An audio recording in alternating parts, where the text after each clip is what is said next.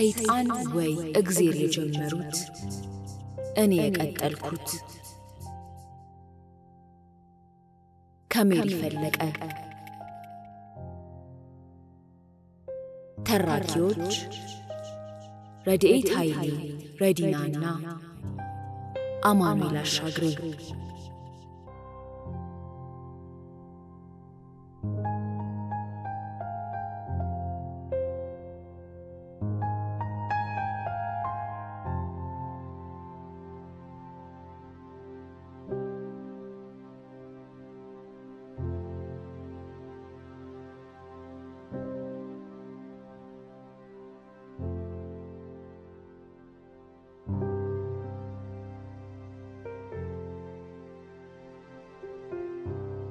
ሞቼ ቢሆን ኖሮ ደስ ይልሽ ነበር አይደል?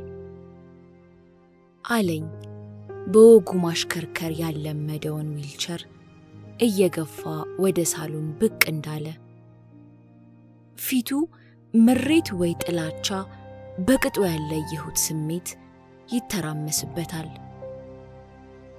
ዝም ያልኩት መመላለሱ ልቤን ስለሚያደክመኝ ነበር። በጎማው እየተንቀራፈፈ አጠገቤ ደርሶ ንገሪኝ፣ ደስ ይልሽ ነበር አይደል? አይከፋኝም ነበር መለስኩለት። እግዚአብሔር ይሁን ሰይጣን አደጋውን ያደረሱበት አንዳቸው ምርጫ ሰጥተውኝ ቢሆን ኖሮ እንኳን የቱን እንደምመርጥ እንጃ። ለነገሩ ሰዎች በሕይወታቸው የሆነ የከፋ ነገር ሲገጥማቸው እግዜር ሊያስተምረው ነው ይሉን የለ? ያው ራሳቸው ሰዎች ደግሞ የክፉ ነገር ምንጭ ሰይጣን ነውም ይሉናል። ነገሩ ለእኔ ጭንቅላት የተሳከረ ነገር ስላለው ነው ከሁለቱ አንዳቸው ቢሆኑ ያልኩት። አስቡት፣ የመልካም ነገር ሁሉ ምንጭ የሆነ አምላክ ለሰው ልጅ በምርጫው እንዲኖር ነፃነትን የሰጠው የነፃነት አምላክ ሊያስተምር ሲፈልግ በክፉ ሲቀጣ ማለት ነው። አንዳንዴ ፈጣሪ በክፉ አይፈትንም ብዬ ሳስብ ለራሴ የምሰጠው ማመሳከሪያ የመጽሐፍ ቅዱሱ ኢዮብ ነው። ፈጣሪ ጥበቃውን እንደ ኢዮብ ያነሳብህና ለክፉ አባት አሳልፎ ይሰጠሃል እንጂ ራሱ አምላክ ክፉን አያዘንብም ብዬ አስብና ከዛ ግን ሞትና የሲኦል መኖር ይሄን እሳቤን ካፈር ያደባይብኛል።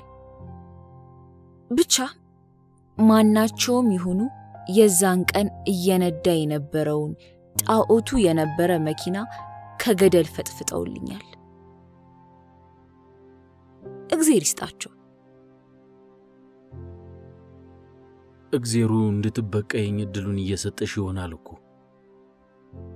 ለምን ደግ እየሆንሽ የተሰጠሽን እድል ታባክኛለሽ? አለኝ የሰራሁለትን ምግብ ላጎርሰው እጄን ስዘረጋ።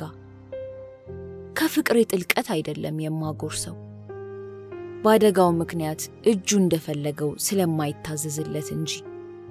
ከዛስ? በእኔ ክፋት ክፋትህን ልታቀል፣ በእኔ ኃጢአት በደልህን ልትሰርዝ፣ በእኔ በቀል ኃጢአትህን ልታወራርድ፣ በፍጹም በፍጹም ያን ደስታማ አልሰጥህም። ቆይ ግን በቀል ዓይን ላጠፋ ዓይን ማጥፋት፣ የገደለን መግደል፣ ብቻ በአጠቃላይ በቀል ለክፋት ክፋትን መመለስ ነው ያለው ማን ነው? ለሰራው ስራ የስራውንማ መኸር መሰብሰብ የተፈጥሮ ሕግም አይደል? ያጭዳል እንጂ ምኑ አንከፍ ብሆን ነው ወይ በገደልከኝ ወይ በገደልከው ብዬ ስማጸን የከረምኩትን ሰው እንዳይሞት እንዳይድን አድርጎ እጄ ላይ ሲያስቀምጠው በክፋት የምበቀለው? ገብቶታል።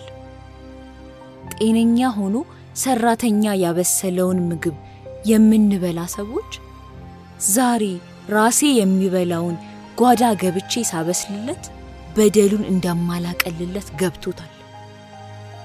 እልህ የሚይዘው ከኔ ይሁን ከራሱ እንጃ።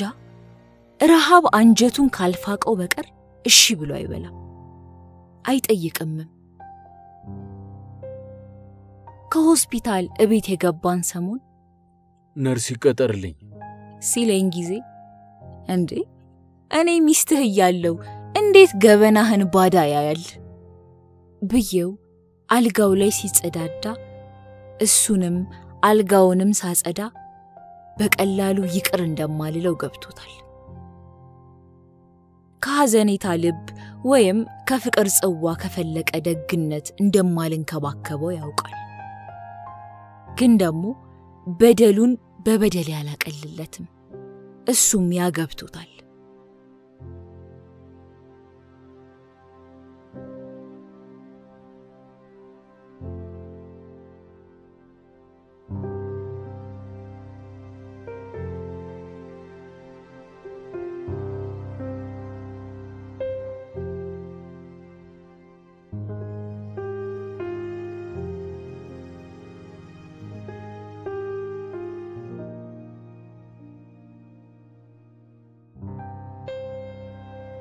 ቆይ ግን ሞቶ ቢሆንና እንደ ወጉ ነጠላዬን አዘቅዝቄ ከሬሳው ጋር ወደ ቀብር እየሄድኩ ምንድን ነበር የምለው? ሰው ምን ይለኛል ብዬ ደረቴን ደቃ ነበር? ወይስ ተመስገን ጌታ ሆይ ገላገልከኝ እያልኩ በፈገግታ ከአፈሩ ጋር የሰባት ዓመት ትዳራችንን ወደ ጉድጓዱ መልሼ እመልስ ነበር? የቱ ግን የበለጠ ደስ ይላል? ሞቱ ወይስ ስንክልክሉ የወጣ አካላቱንና ከተሰበሩት አጥንቶች እኩል እንክትክት ያለ ትምክህቱን፣ ትዕቢቱን፣ ሞራሉን ወይስ አምላክ ነኝ ባይ ልቡን እንኳን እኔ ላይ ራሱ ላይ እንኳን የማዘዝ አቅም የሌለው ከንቱ ሆኖ ማየቱ የቱ የበለጠ ደስ ይላል? ወይስ ከነጭራሹ ደስታ አለው? ካለመዋሸት ግን አለው። የሆነ ደስ የሚል ስሜት አለው። አንዳንዴ በሰባት ዓመት የዲያብሎስ ሚስትነት ዘመኔ በደነደነ ክፉ ልቤ ውስጥ የተረፈው ሚጢጥዬ የርኅራሄ ጭላንጭል ተስፋ ብቅ ይልና ደስታዬን ይበርዝብኛል። ደስታዬን መደበቅ ግን አልችልም። በጠዋት ተነስቼ እንዲጸዳዳ እያገዝኩት ፈገግታዬ ያመልጠኛል።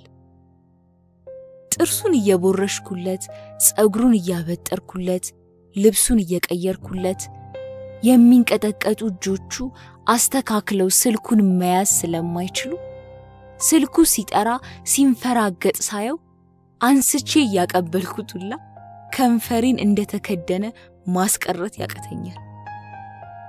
የሚወደውን ምግብ በዜማ እያፏጨው አበስልለታለሁ። ሲዝረከረክ በሶፍት እያጸዳው አጎርሰዋለሁ።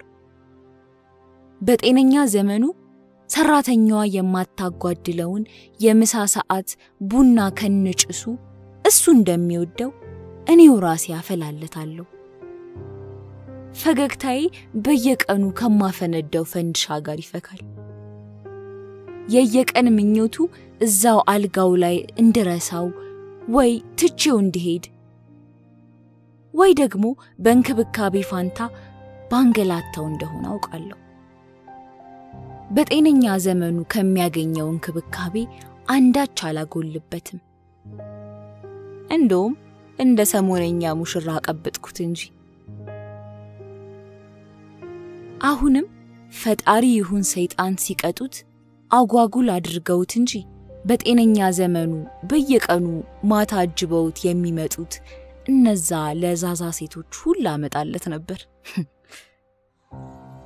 የሚታገዝ ቢሆን እኔ መኝታ ቤት የሚሰማኝን ሴቶቹን የሚያስጮኋቸውን ልፋቱን እያገዝኩት አስከውነው ነበር። አለመታደሉ ግን እንኳን ለጉድ ጉድ ለመሽናቱን በድጋፍ ሆነበት።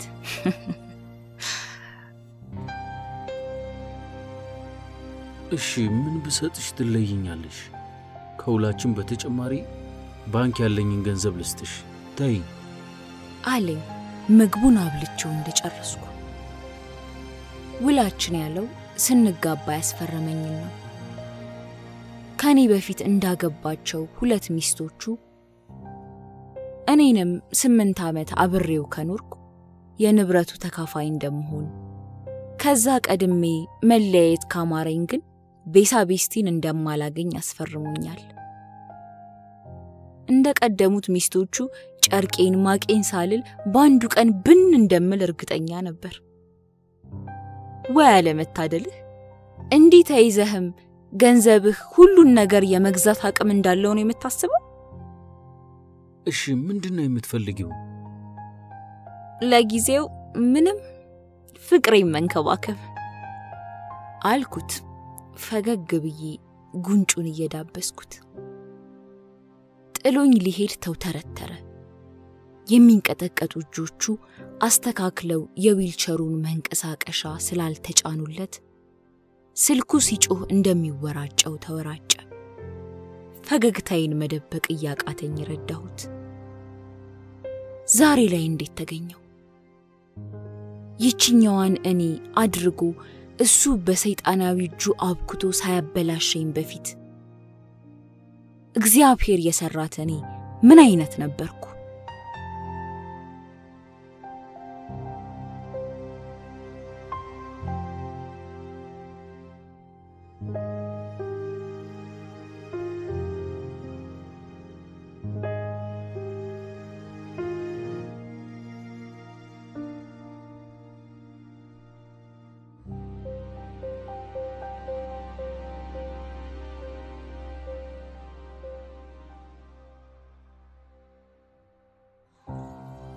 ከኔ በፊት ሁለት ሚስት አግብቶ እንደነበር ሳላውቅ አይደለም ያገባሁት፣ አውቅ ነበር።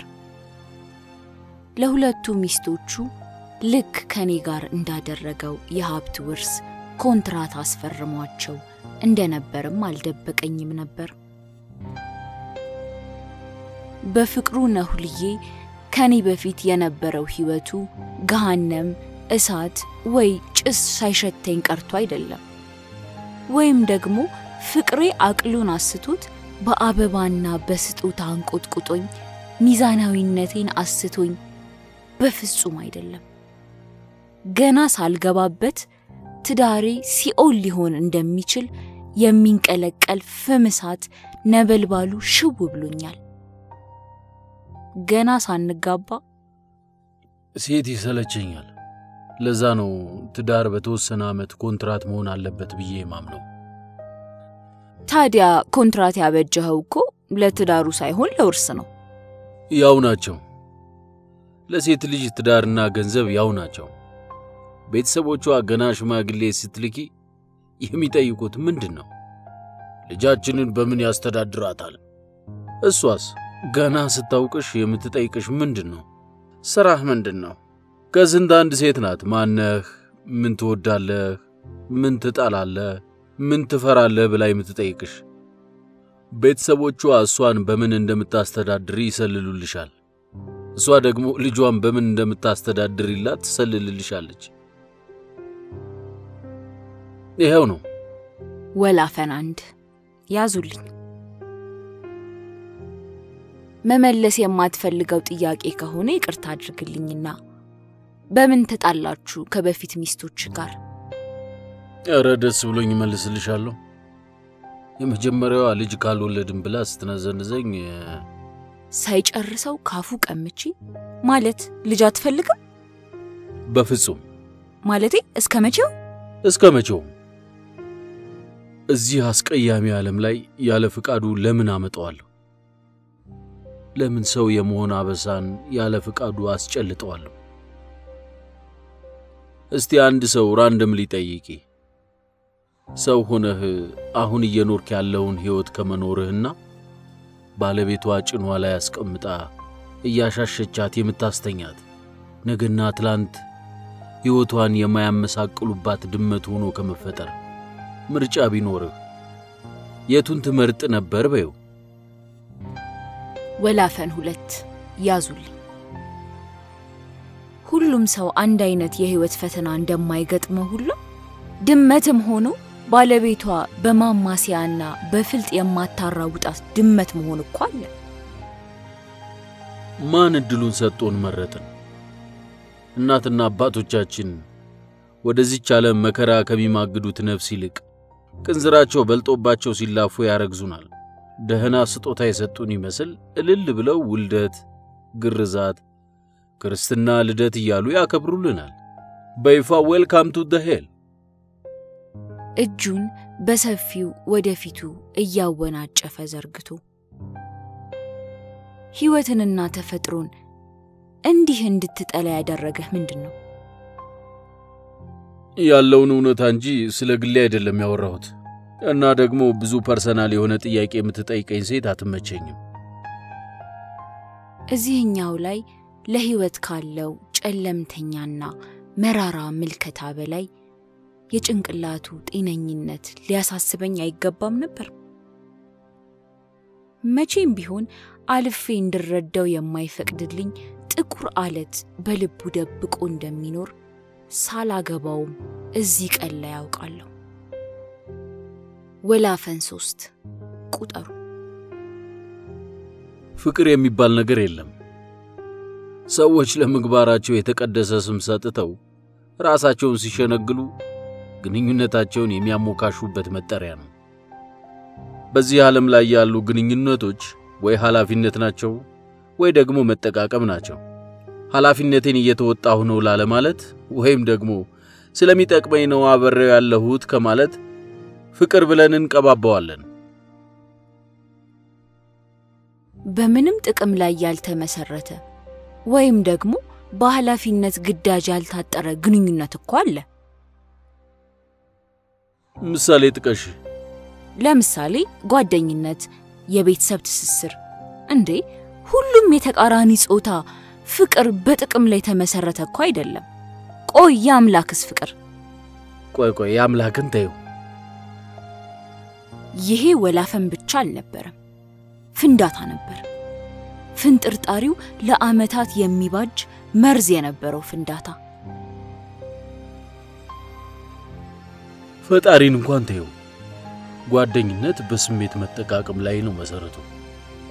ጓደኛ የምትዩ ሰው ወይም ስሜትሽን የሚረዳ በሐሳብ የምትግባቢው ጥሩ ልብ ያለው ወይም ደግሞ ግማሽ አንቺን ውስጡ ያገኘሽበት ነሚት እንደ ጓደኛ የሚያቆራኝሽን ነገር ያን quality ውስጡ ባታገኚ ጓደኛሽ ይሆን ነበር ወይ ነው። አንድ በስሜት የምትመጋገቢው ነገር እየፈለግሽ ባትቆራኝ ኖሮ ዓለም በሙሉ ጓደኛሽ ይሆን ነበር። አየሽ፣ የስሜት መጠቃቀም ነው። ቤተሰብ ላልሽው well እናትና አባት ግዴታም ኃላፊነትም ነው። የእናት ፍቅር ብለው እንደ ተአምር ይሞዝቁታል። ግዴታዋን ነው እየተወጣች ያለችው እኮ። እንደውም በጣም አቢው ሲያደርጉሽ የራሳቸው ንብረት እንጂ የራስሽ ሐሳብና ፍላጎት ያለሽ ሙሉ ሰው አትመስያቸውም።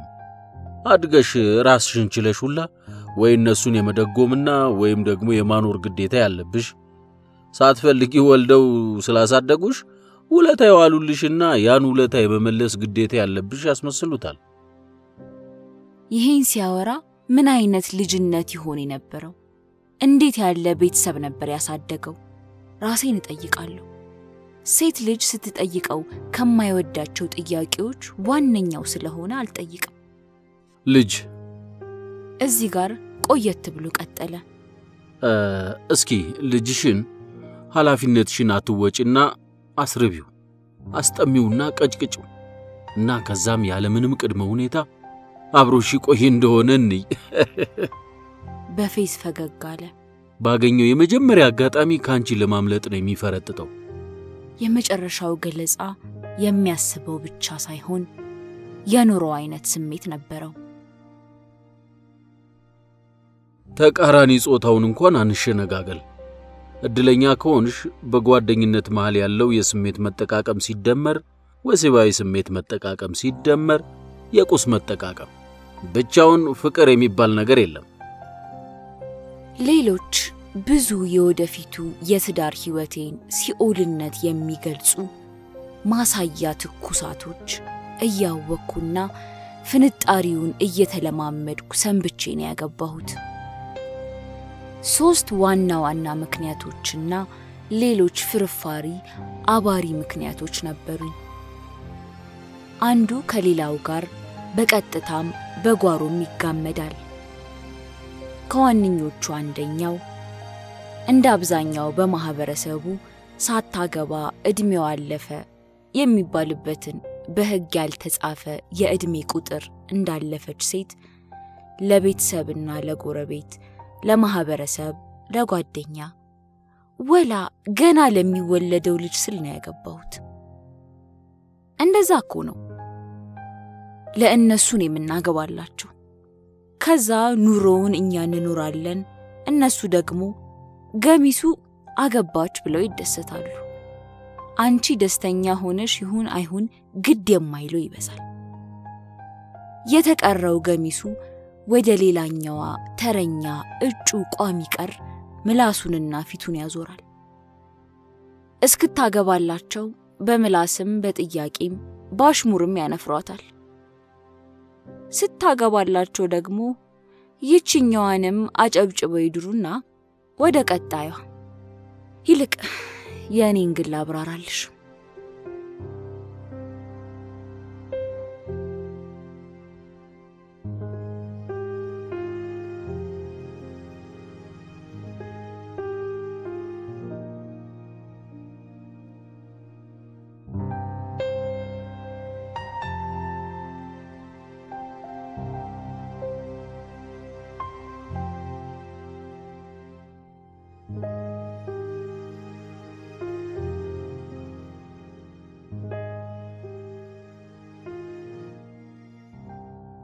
ከሳምንታት በኋላ ዝም አለ። በቃ ዝም። በእኔ ቁጥጥር ስር መሆኑን ላለመቀበል መፍጨርጨሩን ቶ የእኔ እርዳታ የሚሰጠውን የተሸናፊነት ስሜት ላለመዋጥ የሚያደርገውን መንፈራገጥ ቶ ሳጎርሰው ከምግቡ ጋር የሚውጠውን እልህ ቶ ሰውነቱን ሳጥበው ከጡንቻው ጋር የሚፈረጥመውን ትቢት አተነፈሰው። መለፍለፉንም ቶ ዝም ጭጭ አለ። ልክ እንደሌለ ነገር እንደማይሰማ እንደማያይ ምንም ስሜት እንደማይሰጠው ጭራሽ እዛ እንደሌለ አይነት ዝምታው ደስ አይልም፣ ይሸክካል። የተሸነፈ ሲመስል የበቀሌን ጥፍጥና ይቀንሰዋል። ደስ አይልም። ወደ ኋላ ተመልሰሽ ድጋሚ የህይወት ምርጫሽን የማስተካከል እድሉ ቢኖርሽ ታገቢኝ ነበር? ማለቴ ይህንን ትዳር ትመርጭው ነበር? አለኝ ከብዙ ቀናት ዝምታ በኋላ።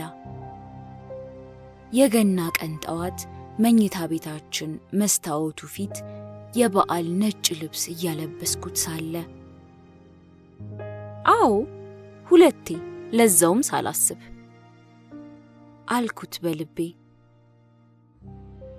ያውም መጨረሻው ይህ መሆኑን አውቄ ብዬ ሳልጨርስ የሰማኝ ይመስል ላለፉት ዓመታት ስትይ ወይ ለመጨረሻዎቹ ወራት አለኝ መልሱን እንደሚያውቀው ሁሉ ተረጋግቶ። ለሁለቱም በእርግጥ መጨረሻው እንደ የዋህ ደራሲ ድርሰት መስመሩ ምርጫዬን ያቀልልኛል አልኩት። አልከፋውም። እንደውም ፈገግ ነገር አለ። የሆነ የማውቀውን ፈገግታ ፈገግ አለ። የሆነ የድሮ እሱ የሆነ ፈገግታ ያሸነፈኝ ያሸነፈኝ ሲመስለው ፈገግ የሚለው አይነት ፈገግታ የሆነ ተንኮል ሲያስብ ፈገግ የሚላት አይነት ፈገግታ። ምን አስበ ነው? ምንም። ምን ነው? አውቃለሁ እኮ የአሁኗን ፈገግታ የምታመጣት ከዲያብሎስ ጋር የሆነ ነገር ስታንሾካሹክ ነው።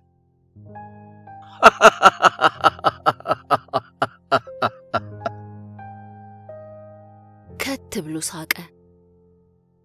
ከአደጋው በኋላ ለአራት ወራት እንዲህ ስቆ አያውቅም።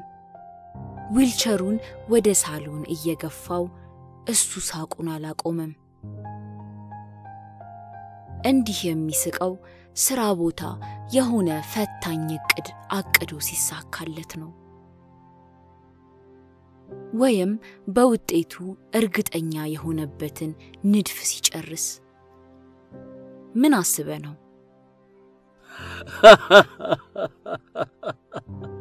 ራስሽን ግን አይተሽው ታውቂያለሽ?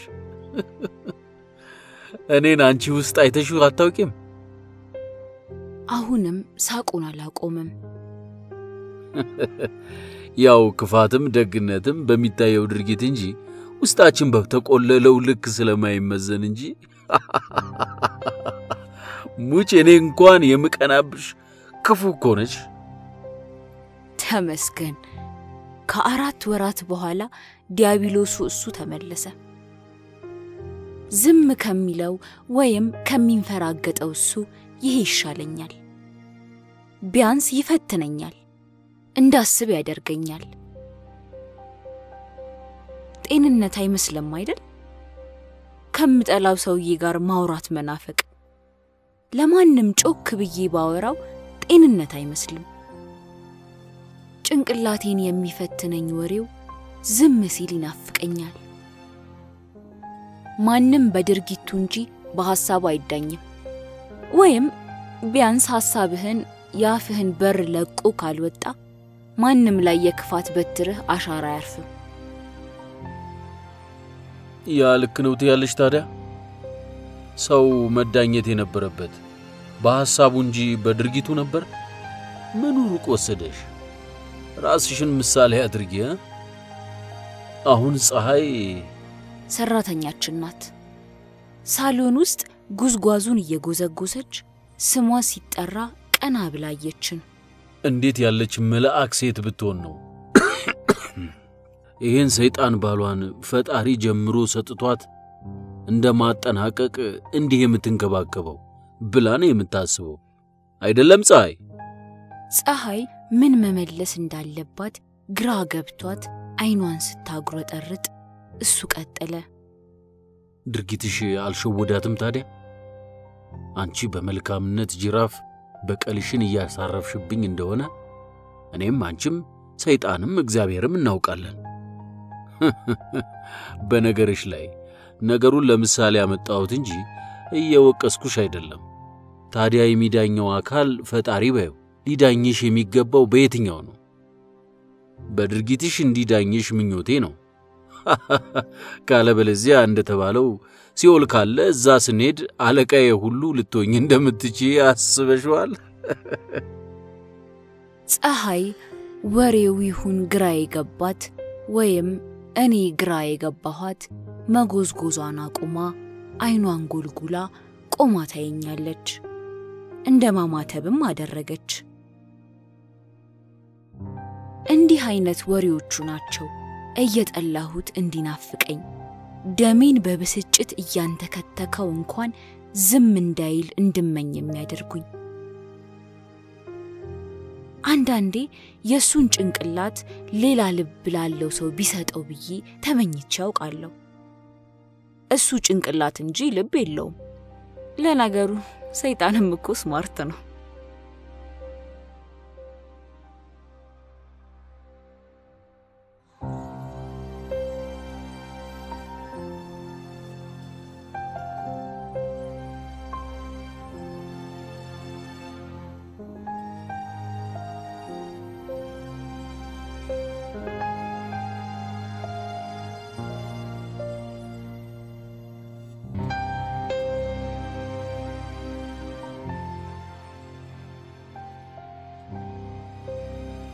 የሰው ልጅ የሐሳቡ ውጤት ነው።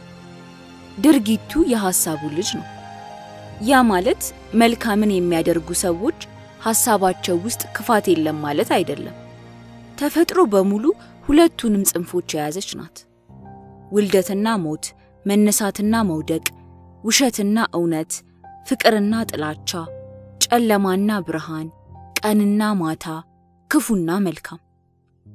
የሰውም ልጅ የእነዚህ ነገሮች ስብጥር ነው።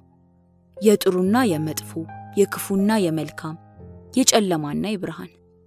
ጥያቄው የትኛው ያመዝናል ነው። የትኛው አሸንፎ በተግባርህ ይገለጻል ነው ጥያቄው። ሲጥ አድርገሽ ጨርሹ የሚለኝን ክፉ ሐሳቤን አቅፈሽ ሳሚው በሚል መልካም ሐሳቤ ከረታሁት ሊቆጠርልኝ የሚገባው ያ ነው። አቅፌ ስስምህ አንተ ጋር በሚፈጠረው ስሜት ጥቂት ደስታን መቃረሜ ፈጣሪም ይቅር ይለዋል።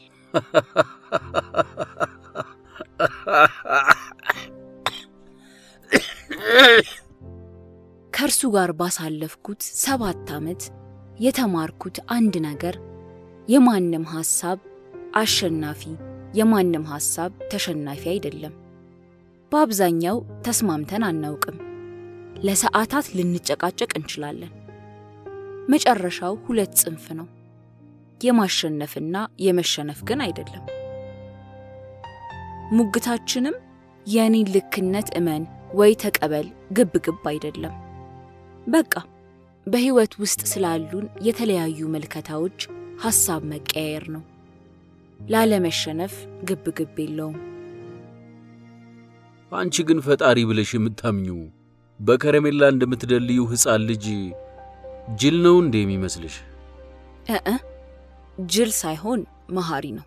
ተደልሎ ሳይሆን ራርቶ ይቅር የሚል እንደዛ ነው የሚመስለኝ ብዬ ቁርስ ላበስል ወደ ጓዳ ልሄድ ስል እስቲ ተያት ዛሬ ፀሐይ ትስራው ቁርሱን።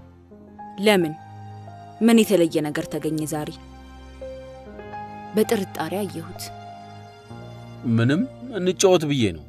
አንቺም የምትፈልጊውን ላታገኝ ድካምሽ በዛና አሳዘንሽኝ። ምንድን ነው የምፈልገው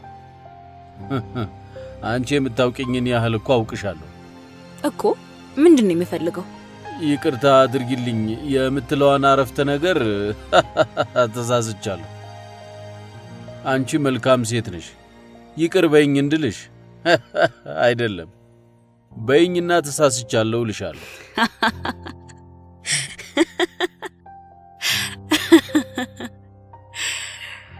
አሁን መሳቁ የእኔ ተራ ሆነ። ስለ እውነት የምፈልገው ምን እንደሆነ በትክክል አላውቅም። የሆነኛው ቀን ግን አዎ ይቅርታ ትጠይቀኛለህ ብዬ ጠብቃለሁ። በፍጹም አላደርገውም። ለምን ደግ እየሆንሽ ለበቀል የተሰጠሽን ዕድል ታባክኛለሽ? እንዲህ ስልሽ ያልሽኝን ታስታውሻለሽ?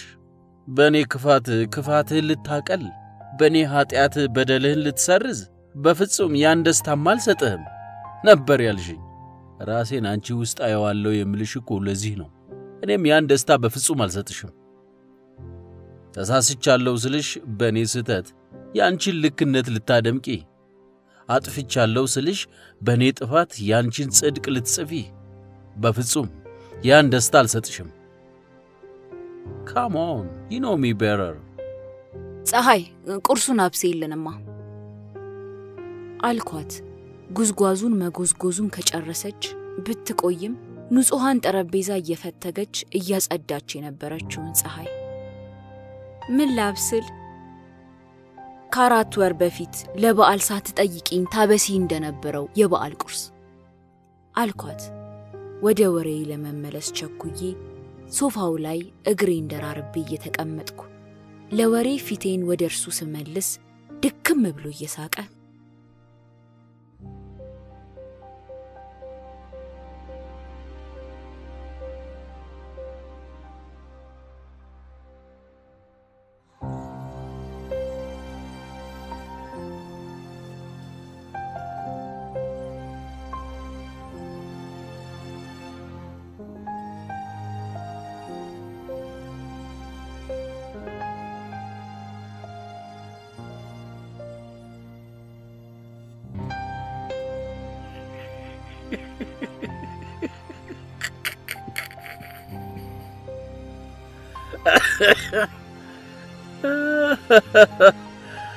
ነርቭሽን ነካሁት አይደል? በተዘዋዋሪ እንደ በደልከኝ ማመንህ ግን ገብቶሃል? ይቅርታ ባፍህ አልጠየቅከኝም እንጂ በደልህን እኮ ታውቃለህ። ከደቂቃዎች በፊት አመንክ። አአ አ ራስሽን አታጽናኝ። እኔ መጀመሪያም እንደ አንቺ ጥሩ ሰውነቴን ለመግለጥ ራሴን የማሰቃይ ሰው አልነበርኩም። ታውቂኛለሽ። ጥሩም መጥፎም አይደለሁም፣ ራሴን ነኝ። የእኔ ምርጫና ድርጊት ከጎዳሽ ተጠያቂዋ ራስሽ እንጂ እኔ አይደለሁም። በምርጫሽ እንጂ አስገድጄሽ የዚህ ሕይወት አካል አላደረግኩሽም። ማዘን ካለብሽ በምርጫሽ ዘኝ። በምርጫ የተሳስቻለሁ ብለሽ ካመንሽ ራስሽን ይቅርታ ጠይቂው።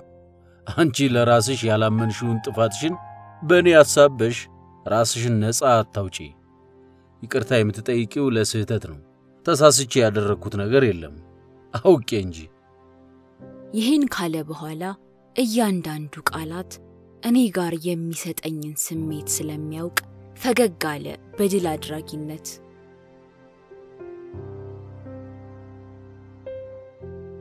የሰይጣን ጭንቅላት እንዳለህ ግን ታውቃለህ? እንደ አንቺ የምትፈትነኝ ሴት ኖራ እንደማታውቅ እንደምታውቂው በሞትክ እመኝኝ፣ ይደብርሻል። ማን እንዲህ ያለ ሰይጣናዊ ጨዋታ ያጫውትሻል? እመነኝ፣ አይደብረኝም። ሰይጣናዊ ጨዋታህን ለሰባት ዓመት ተግቼዋለሁ። እና በተዘዋዋሪ ደቀ መዝሙሬ መሆንሽን አመንሽ ማለት ነው። በሩ ተንኳኩቶ ፀሐይ የሆኑ የማላውቃቸው ሴትዮ አስከትላ ገባች። ማን እንደሆኑ ከመጠየቄ በፊት የእሱ ድንጋጤ ማንም ይሁኑ ምኑ ብቻ ቅዠቱ እንደሆኑ ነገረኝ። አስወጧት! አስወጡልኝ! ጮኸ። በሚችለው ሁሉ ተወራጨ። እየሆነ ያለውን ነገር ከመረዳቴ በፊት ዘሎ ከዊልቸሩ ተነስቶ ሴትየዋ ጋር መድረስ ይችል ይመስል ደም ስሮቹ ተገታትረው ባለ በሌለ ኃይሉ ተወናጭፎ ወደፊቱ ወደቀ። ቢችል በዝችው ቅጽበት አንቆ የሚገድላቸውን የሚመስለው ሴትየዋን ከማስወጣት እሱን ከማንሳት እየሆነ ያለውን ከመረዳት ምኑን እንደማደርግ ግራ ገብቶኝ መሃል ላይ ሰዋልል በእናትሽ አስወጫት እባክሽ አለ አቅም ባጣ ስሜት። ፀሐይ ሴትየዋን እያዋከበች ልታስወጣት ስትሞክር ለሰከንዶች የሴትየዋን ፊት አየሁት። ምንም ስሜት የሌለው ሙልጭ ያለ ፊት። ተከትያቸው ልሄድ አሰብኩ። ያሰብኩት ገብቶታል እባክሽ አለኝ ተስፋ በቆረጠ የልመና ድምፅ። ተመልሼ አጠገቡ መጣሁ። ሴትየዋ ሄደች። ላነሳው ስሞክር ተይኝ። እሺ አልተጎዳህም አልኩት። እንዳወዳደቁ ከአደጋው ሳይሰባበር የተረፈ አጥንት ካለ እንክትክት የሚል ነበር የሚመስለው። ደህና ነኝ፣ እግሬን ብቻ ዘርግልኝ አለ ሲወድቅ የታጠፈ እግሩን ዘርግቼለት ምንጣፉ ላይ በጀርባው ተስተካክሎ እንዲተኛ አድርጌው አጠገቡ በጀርባዬ ጋደም አልኩ። ፀሐይ አስወጥቻቸዋለሁ እያለች ወደ ሳሎን ስትገባ ወለል ላይ በጀርባችን ተጋድመን ስታየን ሳትፈልገው የግርምት ድምፅ አመለጣት። ሆ ሰዎቹ እኮ ለየላቸው አይነት ነው ግርምቷ። እባክሽ በእናትሽ ቀድቼ ሁሉ ደጋግሜ ብሰማው ደስ የሚለኝ ቃል ጆሮዬን እኮ ነው ያላመንኩት። አንተ እባክሽ ደስ አለሽ? ድምፁ ቅድም እንደዛ የተሸነፈው ድምፅ አይደለም። አልዋሽህም፣ ደስ የሚል ስሜት አለው። ካወቅኩህ ጀምሮ ማንንም ስለምንም ለምነህ እኮ የምታውቅ ሰው አይደለህም። እኔ እናንተ አንወሻሽማ። የሆነ ቦታ ድክመት እንዳለህ ማወቅ ደስ የሚል ስሜት አለው። ተሸንፈህ አይቼህ አላውቅም። እሱኛው የሰጠኝን ስሜት አላውቀውም። እና ተሳሳትኩ? ሲኦል ብንገናኝ አለቃ ያትሆኝም? ይልቅ ሴትየዋ ማን ናቸው? ሲኦሌ ናት። ገሃነም ምንህ ናቸው? እናትህ? ሲኦሌ አልኩሽ እኮ። አውቀው የለ በቃ አይመልስልኝም፣ አይነግረኝም።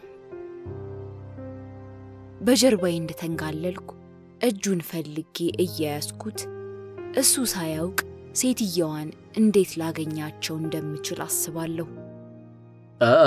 አታባብኝ፣ አትዘኝልኝ፣ ረፊ።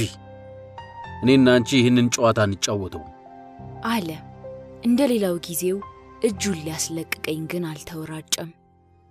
ቀጠል አድርጎ የምታስቢውን ተይው፣ አይጠቅምሽም። ልታገኛት አትሞክሪ።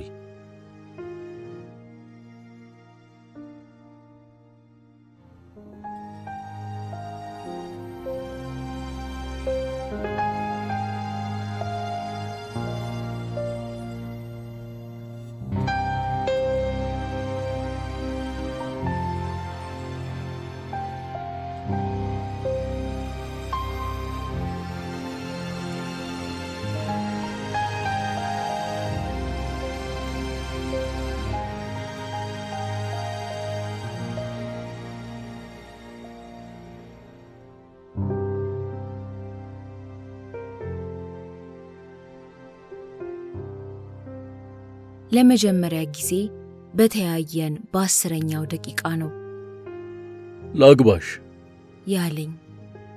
የሦስተኛ ታናሽን ሰርግ ልታደም አንደኛው የከተማችን ሆቴል ነበርኩ። የምሳ ቡፌ ከተነሳ በኋላ ማንም ሳያየኝ ከአዳራሹ ውልቅ ብዬ እዛው ሕንፃ ላይ ያለ ሬስቶራንት ውስጥ ገባው። ቢያድለኝ እኮ የአክስቶቼን ውግምት የሆነ አይን መሸሼ ነበር። ገና ወንበር ስቤ ከመቀመጤ ከየት መጣች ሳልላት አንዱ አክስቴ ምን ነውሳ ያን ከመሰለ ፌሽታ ተነጥለሽ እዚህ ብቻሽን? ቡና መጠጣት ፈልጌ ነው። አንቺስ? እኔማ ስልክ ላወራ ወጥቼ ስትዘልቂ አይቼሽ ነው። በይኔ ልመለስ እናቴ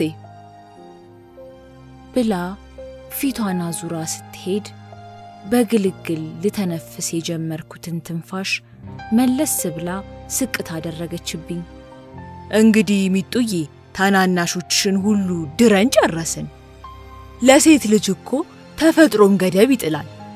እንደው ምርጫው ይቅርብሽና ከአንዱ ሰብሰብ በይ ለእናትሽ ስቲ። ለአንቺም እኮ አለም ነው። የሆነ ያዘነችልኝ ታስመስለዋለች። ለአንቺ ብዬ ነው የሚሏት አይነት ቅብ ነች።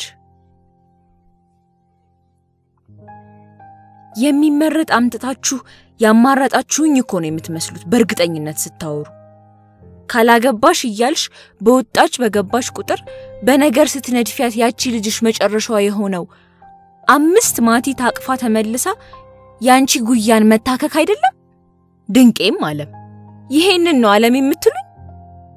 ከጀርባዬ ፍቅፍቅ ብሎ የሚስቅ ሰው ድምፅ ስሰማ ነው ሬስቶራንቱ ውስጥ ያለው ገሚሱ ተጠቃሚ ሊሰማኝ በሚችል ድምፅ እየጮሁ እንደሆነ የታወቀኝ። እሱ ነበር።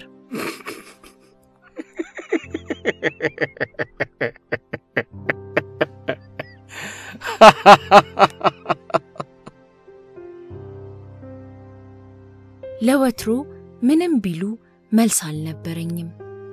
ምክር፣ ወቀሳ፣ ሽርደዳ እፈልግሻለሁ ብለው እቤታቸው ጠርተውኝ ሁላ ሲግቱኝ ዝም ነበር መልሴ። ለትልቅ ሰው መልስ አይሰጥም። ቢሰድቡሽም ቢገርፉሽም ጭንቅላትሽ ውስጥ ተደፍድፎ ቀስ በቀስ የሚሸርፍሽን መርዝ በቃላት ቢያቀብሉሽም አዋቂዎች ላንቺ ብለው ነው ተብዬ ነው ያደግኩት። ላክስቴ ሌላ የምትለጥፍልኝ ስም ሰጠኋት። ደንግጣ የጎስት በመሰለ ሽውታ ሽው ብላ ወጣች። ሳቁን ሳያቋርጥ አጠገቤ ያለውን ወንበር ስቦ ተቀመጠ።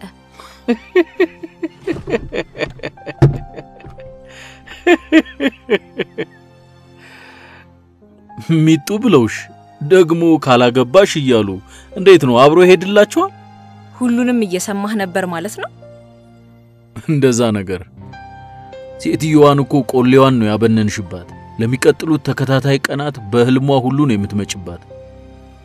እና አንቺ ያላገባሽው ሴትየዋ እንዳሉት ስታማርጭ ነው እንዴ? ለትዳር ያለሽ ምልከታ ስለሚለይ ነው ነው ወይስ ማግባት ስለማትፈልጊ ነው? እንዴ ዝም ብሎ ትዳር ውስጥ ይገባል እንዴ?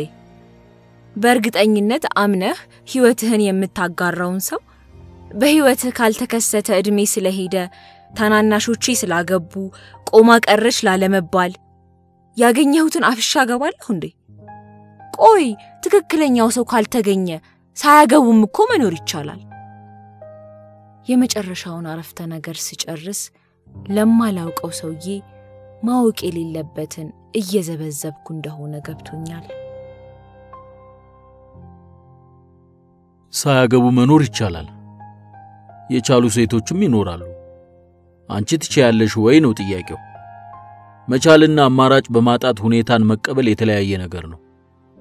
ትዳርን ልመስርት የምመኘው ትክክለኛ ሰው በሕይወቴ ካልተከሰተ ትዳር እንዲኖረኝ አልፈልግም የሚል አቋም ኖሮሽ ሳታገቢ ስትኖሪ በውሳኔሽ ደስተኛ ነው የምትሆኘው።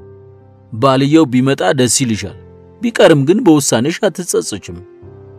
ያ የባለፈው ሰውዬ እኮ ትንሽም ቢሆን ይጠጋጋ ነበር፣ ምን አለ እሱን ባገባሁት አትይም። እንደ ቅድሙ አይነት ሴትዮ መጥተው ሲወርፉሽ እንደ ቅድሙ አትጮሂባቸውም። የቤተሰብ ወይም የማህበረሰብ expectation ግድ አይሰጥሽም። ምርጫ አጥተሽ ሲሆን መጀመሪያ ነገር ውሳኔሽን አታምኚም። ሰርግ ባየሽ ቁጥር የምትቆዝሚ፣ አዳራሽ ለቀሽ ወጥተሽ ሬስቶራንት ውስጥ የምትደበቂ፣ ደስታ የራቀሽ ሰው ነው የምትሆኘው። የተናገረው እውነት ከመሆኑ በላይ ትንተናው ለወሬ የሚጋብዝ ስለነበረ አልጎረበጠኝም። ይልቅስ እንደ አብሮ አደግ ወዳጃሞች ጨዋታ መቀባበል ጀመርን። እሱ ልክ ነህ፣ ግን ምርጫ ስታጣም ያለህበትን ሁኔታ ተቀብሎ መኖር ሽንፈት አይደለም፣ እንደውም ብርታት ነው። መንነህ ገዳም ካልገባህ ወይም የተለየ ባህልና እምነት ያለው ማህበረሰብ ያለበት ቦታ ካልተሰደድክ በቀር ግን እንዴት ነው የማንንም expectation ግድ አይሰጠኝም የሚባለው? ልክ የሆነ አካሌ የጎደለ ያህል እኮ ነው ባል የሚባለው ፍጡር ስለጎደለ ከምድረ በረከት የጎደልኩ የሚያስመስሉት። በግልጽ እስኪ ተጠመቂ፣ ለአምላክ የሚሳነው የለም፣ በንጹሕ ልብ ጹሚ፣ ጸልይ ይሉኛል። ዞር ስትልላቸው እንደው ይችን የመሰለች ልጅ ቆማ መቅረቷ ነው ይባባሉብሃል። እንዴ ቆይ ግን ምን ያህል ብታረጂ ነው? ሰላሳ አራት ያነሳሽበትን ስትደምሪው ገፍተሻል። ባክህ ሳልኖርበትም ቀንሼበትም አያዋጣኝም። ላግባሽ ጥያቄ አይደለም፣ ኮስተር ያለ እርግጠኝነት ያለበት እንደ ጥቆማ አይነት ነገር። ልክ የሆነ ባለሙያ እንዲህ ብታደርግ ይጠቅመሃል ብሎ እንደሚሰጠው አይነት ምክር አዘል ጥቆማ። ጭራሽ ይህ እውነቴን ነው። መቼም በሰላሳ አራት ዓመት የሰው ልጅ ተጠንቶ የሚታወቅ ፍጡር አለመሆኑን አልደረስኩበትም አትይኝም። እና ሳንጠናና ሳንተያይ ሳንፈታተን አትይኝም። አልጋ ላይ እንዴት ነሽ? አንተ ጤና የለህም እንዴ? ከማፈሬ የተነሳ የሰማው ሰው እንዳይኖር ዞር ዞር አልኩኝ። እሱ ምንም ወጣ ያለ ነገር እንዳላወራ ሁሉ ቀጠለ። ኦ ለካ ስም አልተለዋወጥንም። አዲስ እባላለሁ። በሚቀጥለው ሳምንት አርባ ሁለት ይሆነኛል። አልጋ ላይ ጎበዝ ነኝ። ከፈለግሽ አሁኑን ወጥተን ላሳይሽ እችላለሁ። ኮስተር ብሎ ነው የሚያወራው፣ ልክ እውነት እንደሆነ ነገር። ስራዬን ማወቅ ከፈለግሽ ዝርዝሩን ወደፊት አስረዳሻለሁ። በጠቅላላው ነጋዴ ነኝ። ይሄ የችርቻሮ ነጋዴ ነገር አይደለሁም። ሀብታም ነኝ። በቁስ የምትደሰቺ ሰው ከሆንሽ አብረኸኝ shopping ውጣት በይኝ እንጂ የተዘባነነ ኑሮ አኖርሻለሁ። ምን ቀረ ምን ቀረ? የትምህርት ደረጃዬን ማወቅ ከፈለግሽ ደረጃ የለኝም። ከዘጠኝ ነው የተውኩት። በተለያየ ምክንያት ከሀገር ስለመውጣ ቋንቋ ተምሬያለሁ። ሁለቴ አግብቼ ነው የፈታሁት። ሃይማኖት የለኝም። ዋና ዋናው ይሄ መሰለኝ። ማወቅ የምትፈልጊውን እነግርሻለሁ። የሚያወራው ከልቡ መሆኑን አልተጠራጠርኩም፣ ጤንነቱን እንጂ። አፌን ከፍቼ ነው በከፊል ድንጋጤ፣ በከፊል ግርምት፣ በብዙ ግራ መጋባት የማየው። ከኔ መልስ እየጠበቀ መሆኑ ሲገባኝ ሳቄ መጣ። ምን እንደ ስራ ሲቪ ስለ ራሴ እንድነግርህ አይደለም አይደል እየጠበከኝ ያለኸው? ትዳርን ምን ለየው? እንተዋወቅ፣ እንጠናና የምትሉት ከዚህ የተለየ የሚያሳውቃችሁ ነገር ምን አለ? ያው ሳታገቢ የምትኖሪውን ሕይወት ከማራዘም ውጪ ማለት ነው። ያው እኮ ነው። ይህን ይህን ያሟላ ብለሽ ልክ እንደ ሥራ ቅጥር መስፈርት ታስቀምጫለሽ። የሚመጣው ሰውዬ መስፈርትሽን ካለፈ ባል ሆኖ ይቀጠራል። ቆይ እስኪ አንቺ አጋሬ ነው ብለሽ እየጠበቅሽው ያለሽው ሰውዬ ምን አይነት ነው? ደፍነትሊ እንዳንተ አይነት አይደለም። ጉረኛ፣ ሲያወራ ግልብ፣ ሁለት አግብቶ የፈታ ብቻ እንዳንተ አይነት አይደለም።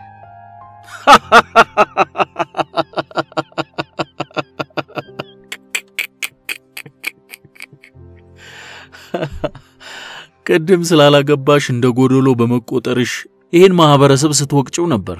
ራስሹ ግን አግብቶ መፍታትን የሆነ ተላላፊ በሽታ ይመስል ግፍ ግፍ እያደረግሽ እንደ ጉድለት አየሽብኝ። ይሄና ያ ይለያያል። በአርባ ሁለት ዓመት ሁለት አግብቶ መፍታት ቀይ መብራት ነው። ልዩነቱ ኩነኔውን ተቀባይ ቦታ መሆንና ኮናኝ ቦታ መቆም ነው። እንቁላል የሰረቀ ሌባ እገሌ በሬ ሰረቀ ቢሉት እና ለቀቃችሁት ይላል። ራሳችን ይገባናል ብለን የምናምነው ምህረት በሌላ ሰው ሲሆን ምህረት ለእርሱ በደል ነው፣ ውድ ናት ብለን እናሳስባለን። አየሽ፣ ልዩነቱ የቆምንበት ቦታ ብቻ ነው።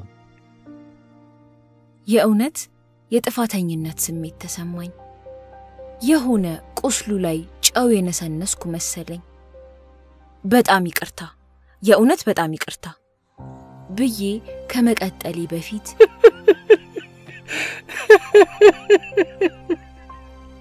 በጣም ይቅርታ፣ በእውነት በጣም ይቅርታ ብዬ ከመቀጠሌ በፊት እየተርገፈገፈ ስቆ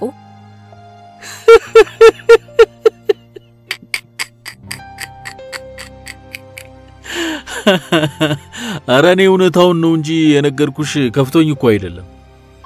ፈልጌ ነው የፈታኋቸው። ስለፈታኋቸውም ደስተኛ ነኝ። ብሎ የሆነ ልክ የሆነውን ዓለሜን ልክ ባልሆነው ዓለሙ ቀላቀለብኝ። በውስጤ ተነስቼ ደህና ሁን ብዬው መሄድ አስባለሁ።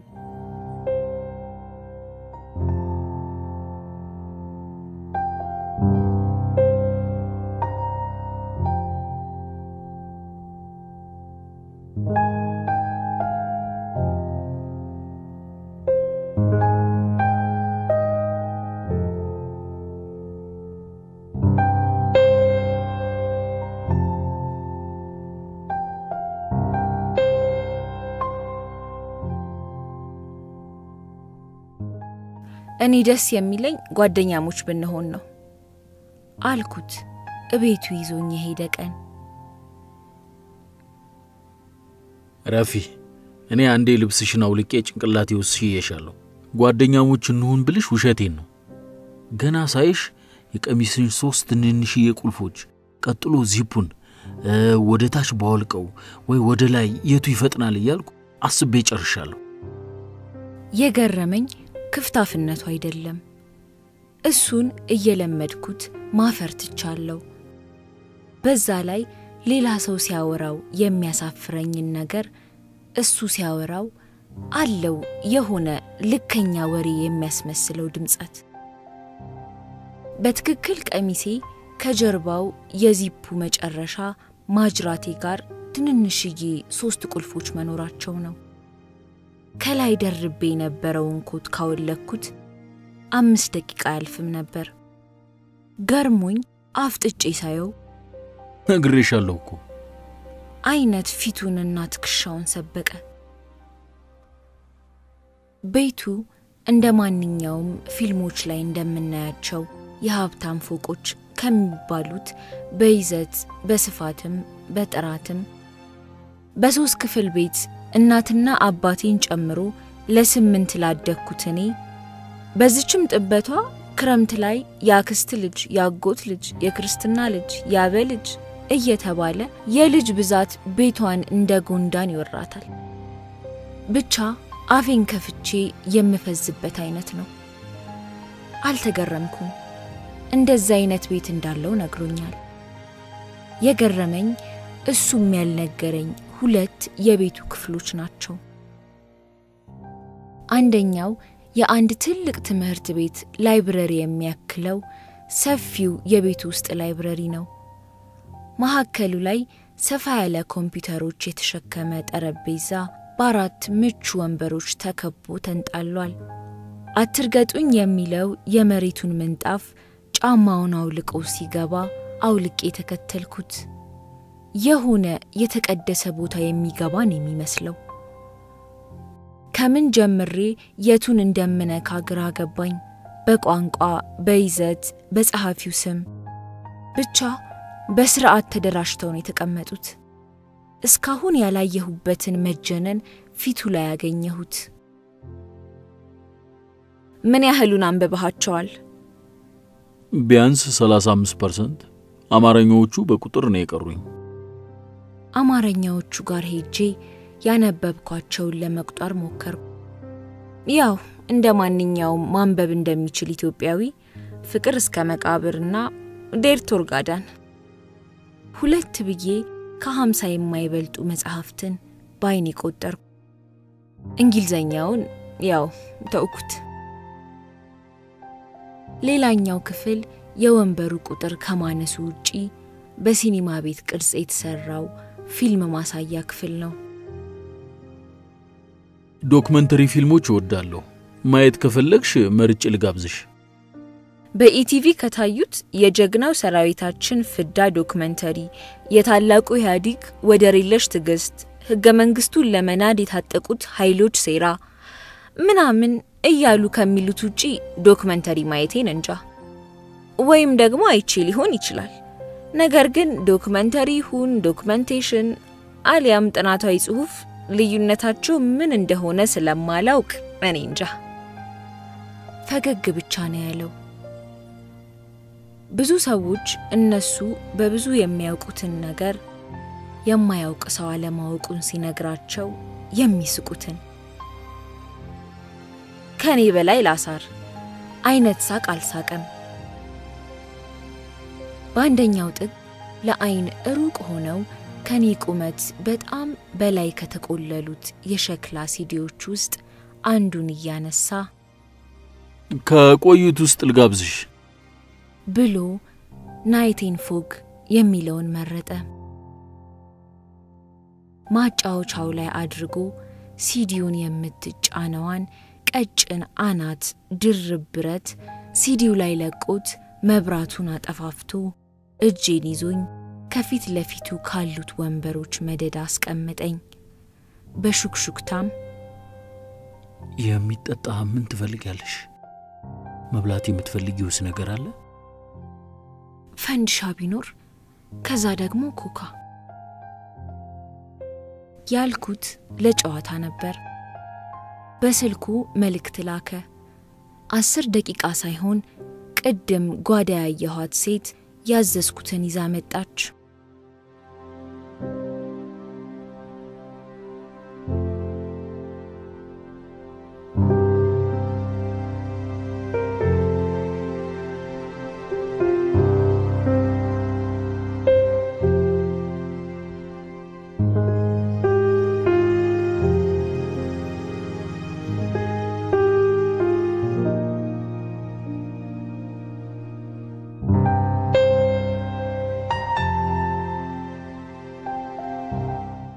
የዛን ዕለት መጀመሪያ ያየሁት ዕለት ጤንነት እንደጎደለው ሰው ያየኝ ቀን ላግባሽ ያለኝ ዕለት እንደ እኔ ሐሳብ ጥየው በሄድኩ። እንደ እኔ እምነት ልክ ካልሆነ ሰው ጋር ተጨማሪ ደቂቃ ባላባከንኩ። እንደ እኔ ልምድ ካፉ የሚወጡት ቃላት አርባ ክንድ ከእርሱ ባራቁኝ። እንደ እኔ አስተዳደግ ይሄ ሰው የብዙ የሕይወት መርሆቼ ፉርሸት ነበር። ተጎለትኩ አላልኳችሁም?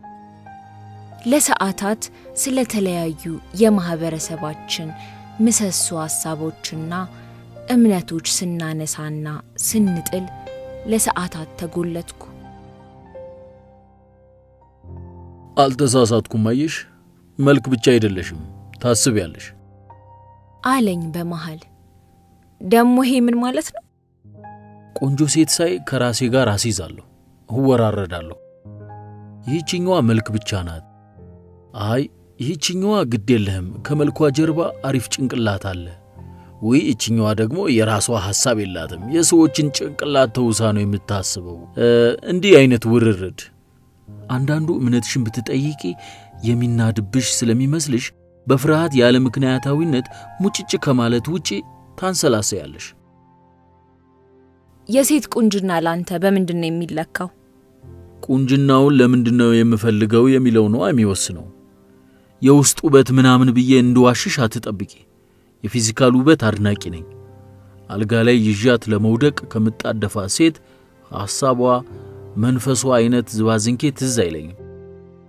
ችግሩ ከተኛዋት በኋላ የማወራው ስለሚጠፋኝ ቶሎ እንድትለየኝ እፈልጋለሁ። ምናልባት ግን በሌላ ጊዜ ላገኛ ትፈልግ ይሆናል። ከወዳጄ ጋር ተማካክረን ወዳጄ ያለው ታች ቤት መሆኑን ለማሳየት በእጁ ወደ ታች ጠቆመኝ። እሷ ትሻለናለች ተባብለን ላገኛት እችላለሁ። የምታንሰላስል የምትጠይቅ ሴት ግን ደስ ትለኛለች። ከእራት እስከ አልጋ ሳትሰለቸኝ ጊዜ እሰጣታለሁ። አብሮ እስከ መኖርም አይከፋኝም።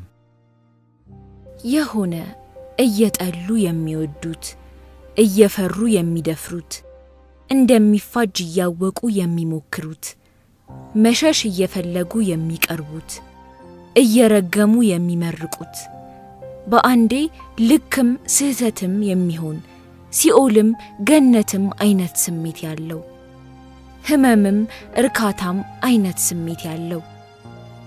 በቃ በየትኛውም ጎራ የማያቅፉት አይነት ሰው ነበር። የዛን ቀን እቤቴ ከሸኘኝ በኋላ ደዊልኝ ብሎ ስልኩን ሰጥቶኝ ሄደ። እኔው ራሴ ያላወቅኩት እብደት ውስጤ መኖሩን ያወቅኩት ላግባሽ ያለኝን ደጋግሜ ከነ አመክንዮቹ ሳስብ ራሴን አገኘሁት።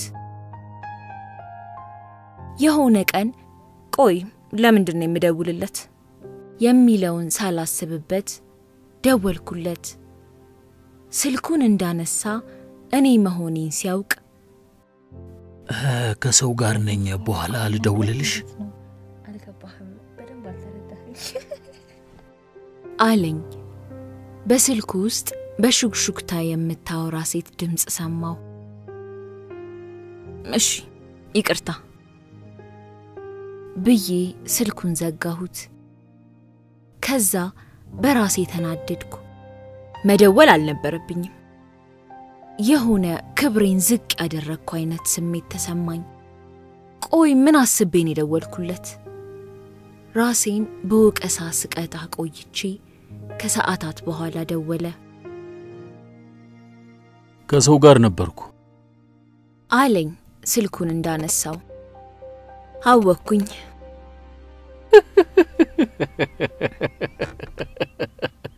ደብሮሽ ባልሆነ ብሎ ድክም ብሎ ሳቀ። ጭራሽ ደበረኝ።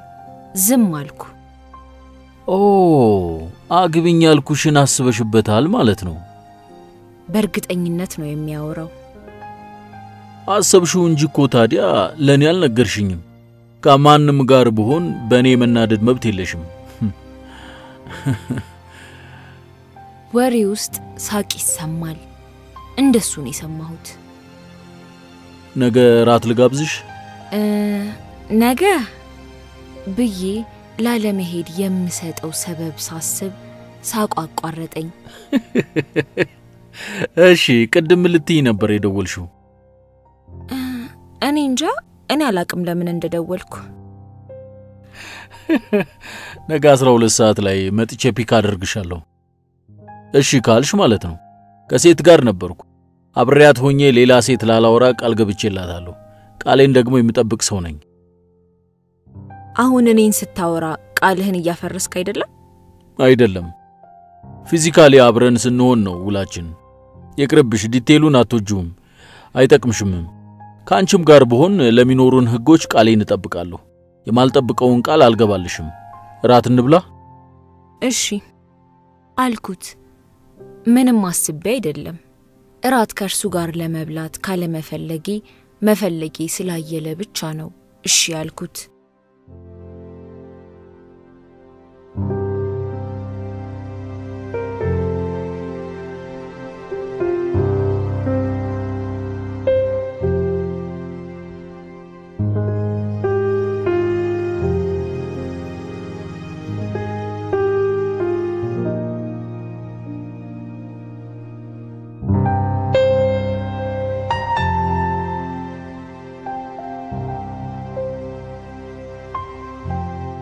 ድጋሚ ላግባሽ የሚለውን ነገር ለተወሰኑ ቀናት አላነሳቸውም። በትዳር ዙሪያ ያሉንን ሐሳቦች ግን ማውራት አላቆምንም። ለምሳሌ የሆነኛው ቀን ቆይ ሁለት ሰዎች ተጋብተው ወይም ሳይጋቡ ለመኖር ዋነኛው መስፈርት ምንድን ነው? ፍቅር ዋነኛው ነው። ነገር ግን ፍቅርን የሚያጠነክሩት መከባበር፣ አንዱ የአንዱን ስሜትና ሐሳብ ለመረዳት የሚሄድበት ርቀት፣ መደጋገፍ፣ ብቻ ብዙ ነገሮች አሉ። ፍቅር የሚባል ነገር ስላለመኖሩ ረጅም ማብራሪያ ከሰጠኝ በኋላ ይሁንልሽ፣ ፍቅር የምትዩ ስሜት አለ እንበል እና መገለጫው ምንድን ነው? ሚስተር አፍቃሪ እንዳፈቀረሽ በምን ታውቂያለሽ? አበባ ይዞልሽ የሚመጣ በ24 ሰዓት 26 ጊዜ የሚደውል ስለ ፍቅሩ ስድስት ልብ ወለድ መጽሐፍ የሚወጣው ዲስኩር የሚዘበዝብ የሚያቅፍሽ፣ የሚስምሽ፣ ራቁትሽን ስትሆኚ የማታፍሪው በየሰርግ ውልደት ግብዣ ላይ ይዞሽ በኩራት የሚዞር ምን አለ ከዚህ ሌላ? ከዚህ የተለየ የፍቅር ማሳያ ነው የምትዪው ካለ አምጪ።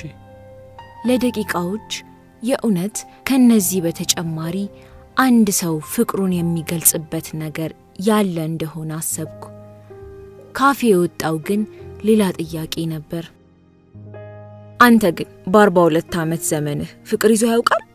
ወይም እሺ እንዴት ላስቀምጠው የጓደኝነት ስሜት መጠቃቀም ሲደመር የወሲብ ስሜት መጠቃቀም ሲደመር ወይም ሳይደመር የቁስ መጠቃቀም ያልከውን የተቃራኒ ጾታ ትስስር አይነት ኖሮህ ያውቃል? ፊቱ ድንገት እንዳመነ አይነት ሆነ። ማናት፣ መቼ፣ እንዴት፣ ለምን የሚል ጥያቄ አስከትለሽ እንዳትጠይቀኝ። አዎ ኖሮኝ ያውቃል አለኝ በደፈናው ለማውራት አፌን ሳሟሽ። እስከ መቼውም የማልነግርሽ ድሮ አለኝ። አትልፊ፣ ማውራት አልፈልግም። የማይተነበይ አይነት ሰው ነው። ሲያወራ ካለመሰልቸቱና በእውቀት ላይ ከተመሰረቱት ምክንያታዊ ጨዋታዎቹ በተጨማሪ መኪና አቁሞ ዝናብ ላይ ቆሞ አፉን ከፍቶ ዝናብ እየተደበደበ የዝናብ ጠብታ የሚጠጣ ንቅል ነው። ልክ እንደ ልከኛ ነገር ይህቺ ሁለተኛ ሚስቴ ነበረች ብሎ እራት እየበላን ባጠገባችን ከሌላ ወንድ ጋር እራት ለመብላት የምትገባን ሴት የሚያስተዋውቀኝ ልክ ያልሆነ ሰው ነው። እገሌ የጻፈው ገጸ ባህሪ በፍጹም እንዲህ ሊያደርግ አይችልም። ደራሲው ገጸ ባህሪውን በደንብ አልተረዳውም ብሎ የሚሟገት ንክ ነው። በአጠቃላይ በእኔ ዓለም፣ በእኔ እምነት፣ በእኔ ባህል፣ በእኔ ልማድ፣ በእኔ አስተዳደግ አይደለም ባል ብለው ሊመርጡት ለአንድ ቀን እንግዳ አድርገው ሊመርጡት ጤንነቱ የሚያጠራጥር አይነት ሰው እኮ ነው። እንደሚፋጅ እያወቅ ካልነካሁት ብዬ የነካሁት እሳት ቤቴን ላሳይሽ ሲለኝ እምቢ ለማለት ወይም ለመሽኮርመም ሐሳቡም አልመጣልኝ። ወደ እርሱ ዓለም እየተሳብኩ እንደሆነ ያኔ ገባኝ። እርሱ ሲያደርገው ወይም ሲያወራው እብደት ወይም ብልግና ሲመስለኝ የነበረው ነገር እኔ ውስጥም ያለ ግን ልኖረው ያልደፈርኩት ልክነት መሆኑ የገባኝ ዶክመንተሪ ፊልሙን አይተን ከጨረስን በኋላ መብራቱን ሲያበራው ሞቆት ይሁን እኔን መፈታተን ፈልጎ የለበሰውን ሸሚዝ አውልቆ ከላይ ፈርጣማ ሰውነቱን ሳየው ልነካው መመኘቴን መደበቅ አቅቶት ሳላዘው እጄ ሲዘረጋ ነው።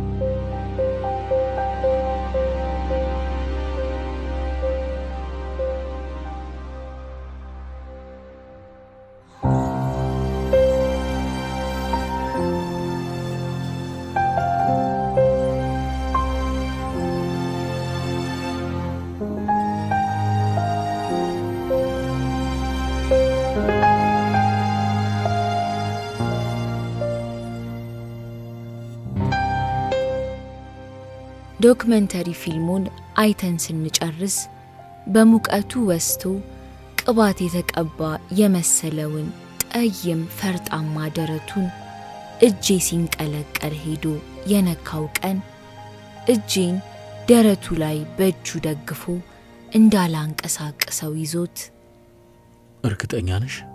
ቨርጅን አይደለሁም እኮ አውቃለሁ። በኋላ የጸጸትሽ ምክንያት መሆን አልፈልግም። እያለኝ ትንፋሹ ከንፈሬ ጋር ደርሷል። አሁን ማን ይሙት ሐሳቤን መቀየር ብፈልግ እንኳን የቱን ሐሳቤን እንደምቀይር አስተካክዬ ማስታወስ እችል ነበር። እየሳመኝ እያቋረጠ ያወራል። አንዳንዱን ቃል እየሳመኝም እያወራም ነው ልበል ወይም መስሎኝ ነው። ለምን እጸጸታለሁ አልኩት ከንፈሬን ነፃ ባደረገልኝ ቅጽበት። ደረቱ ላይ ይዞት የነበረውን እጄን አንስቶ እንደ ዋልዝ ዳንስ አሽከርክሮ በጀርባዬ እያዞረኝ የሴት ልጅ ክብሯ እግሯ መሃል ነው ብለው ነግሯችኋል። ቅድም የቆጠራቸውን ሦስት ቁልፎች እየፈታ አንገቴ ስር ነው የሚያወራው። አብዛኛዋ ሴት እግሯን ከፍታ ስትዘጋ ከክብሯ የሆነኛውን ያህል እንደገመሰች ነው የሚሰማት። በቃላቱ በየመሃሉ አንገቴን ይስመኛል።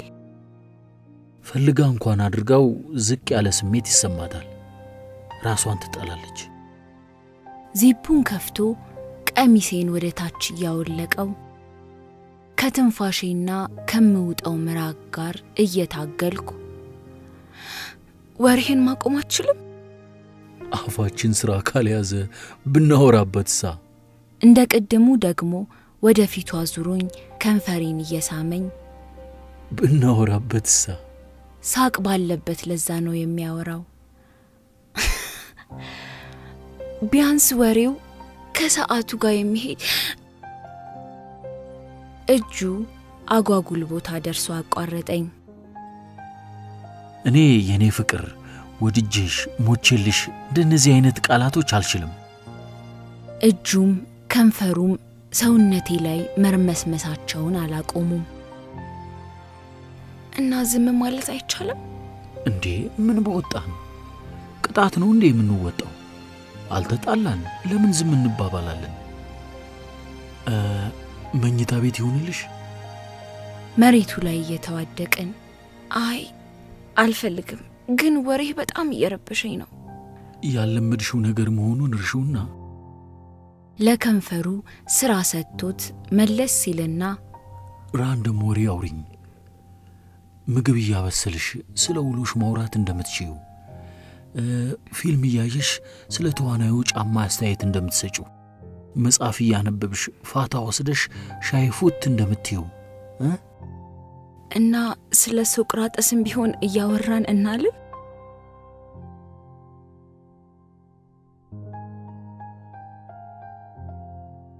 ከተጋባን ከዓመታት በኋላ አንዲት የተረገመች ቀን ላይ አፌ የማይገባውን ለፍልፎ እሱን ሌላ ጭራቅ ሰው እስካደረገው ቀን ድረስ ሁሌም እንዲህ ነበር።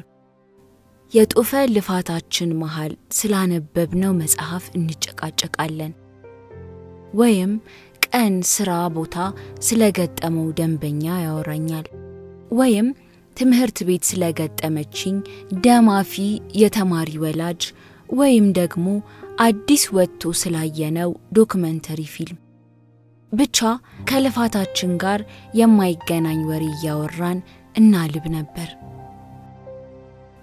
አፌ ከአእምሮዬ ጋር ሳይማከር እስከ ዘባረቀበት እስከዛች ቀን ድረስ የወደፊቱ የትዳር ሕይወቴን ሲኦልነት የሚገልጹ ማሳያ ትኩሳቶች እያወቅኩና ፍንጣሪውን እየተለማመድኩ ሰንብቼን ያገባሁት። ሦስት ዋና ዋና ምክንያቶችና ሌሎች ፍርፋሪ አባሪ ምክንያቶች ነበሩኝ። አንዱ ከሌላው ጋር በቀጥታም በጓሮም ይጋመዳል ብያችኋል ነበር። አንደኛውን ነገርኳችኋ። ሁለተኛው እሱ ወደ ሕይወቴ ሳይመጣም በፊት ይናድብኛል የምለው ጠንካራ የተገነባ የኑሮ ዘይቤ አልነበረኝም። ለቤተሰቦቼ አምስተኛ ልጅ ነኝ። እንዳለመታደል ሆኖ ከኔ በላይ የተወለዱት ታላላቆቼ በትምህርታቸው ጎበዝ፣ በአመላቸው በትምህርት ቤትም በጎረቤትም በቤትም የተመሰገኑ ሲሆኑ እግዚአብሔር እኔ ጋር ሲደርስ አመሉን ዘለለኝ። አሁንም እንዳለመታደል ሆኖ ዕውቀት በሂሳብና እንግሊዝ ውጤት የሚገለጽ ሆነና በእርሱም አልታደልኩም። እንደውም ለምኑም ሳትሆን ከምትቀር ብሎ ነው መሰለኝ ለዐይን ማራኪ አድርጎ ሰራኝ። ከታላላቆቼ የተለየሁ በመሆኔ እንደ ጥፋት እንደ እርግማን ታየብኝ። በልዩነቴ ምክንያት ስቀጣ አደግኩ። ቀኔን ሲያከብድብኝ ታናናሾቼም ቤተሰቦቼ እንደሚሉት የኔን አርያ ተከትለው ትምህርቱን እርግፍ አድርገው ትተው ቦዘኔዎች ሆኑ። ለእነርሱም ጥፋት እኔ ተቀጣው። የአብዛኛዎቻችን ወላጆች ልጅ አዋቂ እንዲሆን ከበላ፣ ትምህርት ቤት ከተላከ፣ የሚያድርበት ማደሪያ ካለው፣ ካልታረዘ፣ በቃ የተቀረው አድጎ አዋቂ ኃላፊነት ተቀባይ ለመሆን የልጁ የራሱ ኃላፊነት እንደሆነ ያስባሉ። አባትሽ ትምህርት ቤት ሲጠራ አንቺ መቼም ሰው አትሆኝም፣ ሁሌ እንዳዋረድሽኝ የሚልሽ ተደጋጋሚ ወቀሳ ሰው እንዳትሆኚ ወደ ታች እንደሚጎትትሽ አያስተውልም። አጎትሽ ድንገት ከአምስት ዓመት አንዴ መጥቶ ወይ እቴቴ! በዚህችኛዋስ አላደለሽም፣ ትልልቆቹን ይባርክልሽ እንጂ እቺ መቼም ሰው አትሆንም! ብሎ ለእናትሽ ባዘነ ሙድ ሲነግራት አንቺ ይዘሽው የምታድጊው ከንቱነት እያቀበለሽ እንደሆነ አይገነዘቡልሽም። አፏ የማያርፍ አክስትሽ እቴትዬ ይችኛዋስ ደህና ማሽ ታመጣልሽ እንደሆነ እንጂ ትምህርቱስ አልሆናትም ስትልሽ እናትሽ አብራ ትስቃለች እንጂ በማንም ፊት የማትረቢ እንደሆንሽ እያመንሽ ራስሽን እንደምትቀጪ አትገነዘብም። ወላጆች ልጆቻቸውን በዱላ ሲቀጡ የሚታያቸው ዱላው ደም አለማፍሰሱ ነው ወይም አጥንት አለመስበሩ። እዛ ደረጃ ካልደረሰ ልጁ እየተቀጣ እንጂ እየተጎዳ አይደለም፣ ትምህርት እየሰጡት ነው። ዱላው ሰውነቱ ላይ ሊያርፍ በተዘረጋ ቁጥር ከሰውነቱ መሸማቀቅ ጋር በዘመኑ ሁሉ አብሮት የሚጓዝ በራስ ያለመተማመን እያሳጨዱት እንደሆነ አያውቁም። ሰውነቱ ላይ ባረፈው ዱላ ልክ ፈሪና ሸምቃቃ ልጅ እያፈሩ እንደሆነ አያውቁም። ሲቀጠቅጡት ያሳደጉትን ልጅ አድጎ በሰዎች ፊት መብቱን አንገቱን ሳይደፋ የሚጠይቅ ኩሩ ባለመሆኑ ይወቅሱታል። ከነዛ የዱላ ሰንበሮቹ ጋር በራስ መተማመኑ መክሰሙን አያስተውሉም። የዱላው ቁስል አይደለም ከልጁ ጋር አብሮ የሚኖረው ስሜቱ ነው። ፍርሃቱ፣ አንገት መድፋቱ እንዳያስረዳ እንኳን ዝም ጭጭ ተብሎ የዋጠው የመጠየቅና የመናገር መብቱ፣ ሰቀቀኑ ብቻ ያ ነው አብሮት የሚያድገው። ሁልጊዜ ለራሴ ሳይሆን ለእነርሱ ስል ጥሩ ልጅ ለመሆን እሞክራለሁ እኮ። ለአባቴ ጎበዝ ተማሪ ሆኜ ውርደቱ እንዳልሆን፣ ለማዬ ጨዋ ልጅ ሆኜ ሰው እንድሆንላት፣ ለዘመዶቻችን ከታላላቆቼ እኩል ሆኜ ላኮራቸው፣ ለራሴ ሳይሆን ለእነርሱ ስል እሞክራለሁ። ያለመታደል ሆኖ ውጤት እንጂ ትግል አይቆጠርማ። እፎርሻለሁ። አስረኛ ክፍል ደርሼ በእነርሱ መለኪያ ሰው ያለመሆኔን ተቀብዬ ሙከራዬን ትቼ በራሴ ዓለም መኖር እስከጀመርኩበት ጊዜ ድረስ ሞክሬያለሁ። መኖሬን ቀጥዬ የረባ ውጤት ሳላመጣ የሆነ መዋለ ሕፃናት አስተማሪ ሆኜ እየሠራው ሁሌም ልደብቀው የማልችለው ሐሳብ ጭንቅላቴ ጓዳ አለ። የሆነ ቀን ቤተሰቦቼን ማኩራት፣ በሙሉ አፋቸው የኔ ልጅ እኮ ሲሉኝ መስማት። እንግዲህ ሌላኛው ምክንያት ይሄ ነው። እናቴ የልጄ ሰርግ ነው ለዘመዶቿ በኩራት መጥሪያ እንድትልክላቸው፣ አባቴ በመጨረሻም በመጨረሻም ልብ ገዛች። ልጄ እኮ ምን የመሰለ ባላገባች መሰላችሁ እያለ ለወዳጆቹ እንዲያወራ ታላላቆቼ በትምህርታቸው ቁልል ያላደረጉላቸውን አድርጌ። ድሮም እኮ ልጄ መባል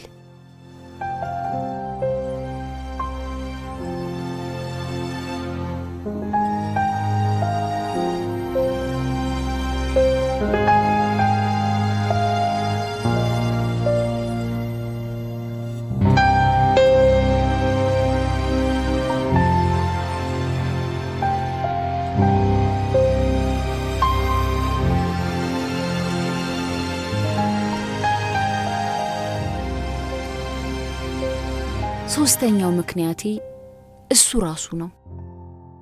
በሰላሳ አራት ዓመት ካገኘሹ ጋር ተጠቃለይ የምትባይበት ዕድሜሽ ነው።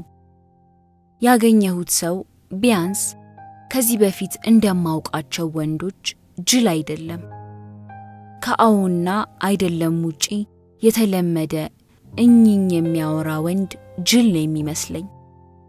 አዲስ ግን እንደዛ አይደለም። የሚወደድና የሚጠላ ባህሪ ቢኖረውም አንድ ነገር ግን ልዩ ያደርገዋል። አይሰለችም። ሁሉም ቀን ከእርሱ ጋር አድቬንቸር ነው። ከተጋባን ሰርግ እፈልጋለሁ፣ ትልቅ ሰርግ አልኩት። የሲኒማ ቤት ክፍሉ ወለል ላይ እርቃናችንን እንደተጋደምን ደን በቁስ የምትደሰች ሴት ከሆንሽ አንቀባርሬ ያኖርሻለሁ አላልከኝም? አዎ ለራሴ ምንም እንድታደርግልኝ አልፈልግም። የሆነ ቀን ላይ ለእናትና ለአባቴ ቤት እንድትገዛልኝ ብቻ ነው የምፈልገው። ከፈለግ ከስምንት ዓመት በኋላ የምታካፍለኝን ውርስ ሰርዘው እሺ አለኝ። በምን አገባኝ ትከሻውን ሰብቆ። በቃ እንጋባ። ሚዜዎችህን አዘጋጅ፣ ለዘመዶችህ ለጓደኞችህ ንገራቸው። እኔ ዘመድም ጓደኛም የለኝም። ሚዜ ብለሽ አታስጨንቂኝ። ሰርጉን የሚታደም የእኔ ወገን የለም። እያለኝ እየሰራሁት ያለሁት እብደት እንደሆነ ጠርጥሬያለሁ። የምርህን ነው? እንዴት አንድ ዘመድ አይኖርህም? ጓደኛስ? ቢያንስ የሥራ ባልደረቦች አሉህ አይደል? ዘመድ ጓደኛ የለኝም። የሥራ ባልደረቦች አሉኝ፣ ግን የግል ሕይወታችንን አንነጋገርም እና ማንንም ሰው ለግሌ ጉዳይ እንዲህ አድርጉልኝ ብዬ አልጠይቅም።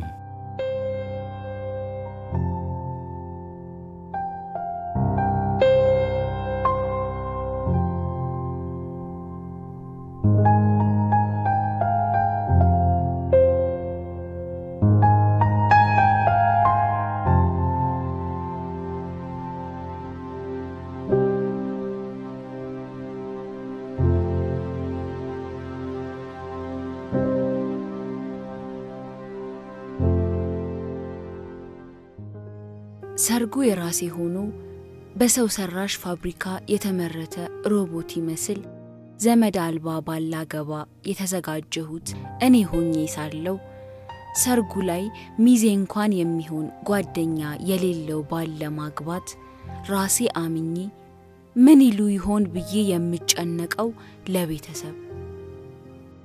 ሰርጉ እንከን እንዳይኖረው ቁጭ ብድግ የምለው ለታዳሚው ሙሽራዋ ግን እኔው ቀኑ መሆን የነበረበት የኔ ለምን ራስሽን አትሆኝም? አለኝ አዲስ የሰርጉ ውጥረት ቀልቤን ሲያሳጣኝ አይቶ።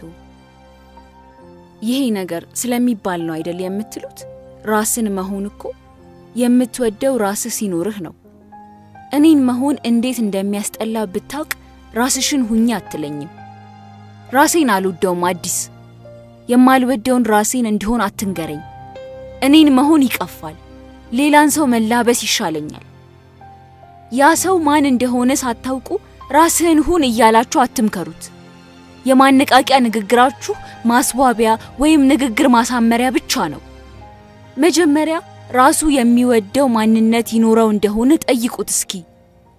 ራሱን ሲሸሽ እኮ ነው ሌላ ሰው የሚሆነው። እየጮኩና ስሜታዊ ሆኜ እያወራው እንደሆነ የገባኝ አዲስ ለመጀመሪያ ጊዜ የሚከራከርበት ሐሳብ ሰጥቼው በመከራከር ፈንታ በጣም ረጋ ብሎ ሁለቱን እጆቼን ሲይዘኝ ነው። ቤተሰብ፣ ማህበረሰብ፣ እኔ፣ ሃይማኖት፣ ብቻ ምንም በዙሪያሽ ባይኖር ማንም ካንቺ ምንም ባይጠብቅ ማንንም ማስደሰት ወይም የማንም expectation ማሟላት ባይኖርብሽ ምን አይነት ሰው ነው መሆን የምትፈልጊው? ምን ማድረግ ነው የምትፈልጊው የነበረው? ደስተኛ ሴት መሆን ብቻ ነው የምፈልገው። ማንም ሳያዋክበኝ፣ ማንም ሴት መሆን ያለባት፣ ወጣት መሆን ያለባት፣ ቆንጆ መሆን ያለባት፣ የቴቴ ልጅ በመሆን መሆን ያለብሽ፣ የዳግም እህት በመሆንሽ መሆን ያለብሽ፣ ክርስቲያን መሆን ያለበት ብቻ አላቅም። ይህን ሁሉ እያለ የኑሮ ዘይቤዬን ሳያሰምርልኝ ከህሊናዬና ከአምላኬ ጋር ሰላሜን እየጠበቅኩ ራሴን መፈለግ ብቻ ነው የምመኘው እኮ ራሴን ማግኘት። ፍለጋዬን ገና ድሮ ስላጠፉብኝ ማን እንደሆንኩ እንኳን አላውቀውም እኮ። አሁንም እየጮኩ ነው የማወራው። እስከ ዛሬ ለራሴ ራሱ ለማስረዳት በውል የቸገረኝን መሻቴን ሳብራራ ራሴን አገኘሁት። ለደቂቃ ያክል ዝም ካለኝ በኋላ ሰርጉን መሰረዝ ትፈልጊያለሽ? ማንንም የማታይ የማትሰሚበት ቦታ ሄደሽ ከራስሽ ጋር ብቻ ጊዜ እያሳለፍሽ ራስሽን መፈለግ ትፈልጊያለሽ? ያንን ላሳካልሽ እችላለሁ። ነገር ግን ሁሉንም ከኋላሽ የመተው አቅሙ አለሽ? አቅሙ የለኝም፣ አልፈልግምም። አየህ፣ ወፍ መብረር እችላለሁ ብላ የፈለገችበት ዝም ብላ አትበርም። ስደተኛ ወፎች የሚባሉትን ታውቃቸዋለህ? ተፈጥሯዊው የአየርና ወቅት ለውጥ የኑሮ ዘይቤያቸውን እነሱ ወደ ፈለጉበት ሳይሆን ምግብ ወደሚገኝበት መኖሪያቸውን በረዶና ንፋስ ሳያፈርስባቸው ወደሚኖሩበት አቅጣጫ እንዲበሩ ያስገድዳቸዋል። አየህ፣ ህብረተሰብ፣ ቤተሰብ፣ ሃይማኖት፣ ባህል ምናምን የማይዛት ወፍ እንኳን ተፈጥሮ በሆነ መልኩ ያጥራታል። ወደድንም ጠላንም የምትታሰርበት ሸምቀቆ እንደ ግለሰቡ ከመጥበቁና ከመለላቱ ውጪ ሁላችንም በአንደኛው ገመድ ተጠፍንገናል። ምክንያቱም የዚህ ማህበረሰብ አካል ነና። የምንኖረው ከዚሁ ማህበረሰብ ጋር ነዋ። የምንኖረው ለዚሁ ማህበረሰብ ነዋ። እንዳለመታደል ሆኖ አንዳንዶቻችን የታሰርንበት ገመድ አንቆ ሊገድለን አንገታችን ሰሉ እንኳን ለማምለጥ አቅሙ የለንም። አይኔ ይሁን እንጃ ያዘነልኝ መሰለ። የሆነ ውሳኔ ለመወሰን ያመነታ መሰለ። ግንባሩ ላይ ስሜቶቹ ተቁነጠነጡ። እሺ፣ በተወሰነ መልኩ ውጥረትሽን ከቀነሰልሽ ስራ ቦታ ያሉ ሰዎችን ሚዜ እንዲሆኑልኝ እጠይቃቸዋለሁ። የተወሰኑትንም ሰርጉን እንዲታደሙ የጥሪ ወረቀት እሰጣቸዋለሁ። ይሄ የሚያቀልልሽ ነገር አለ? አዎ፣ በጣም በጣም እንጂ በጣም ብዙ ነገር ያቀልልኛል። አመሰግናለሁ። እንደ ሕፃን ልጅ መጨፈር ቃጣኝ። ማድረግ የፈለግኩት ከንፈሩን መሳም ነበር፣ ግን ጉንጩ ላይ አረፍኩ።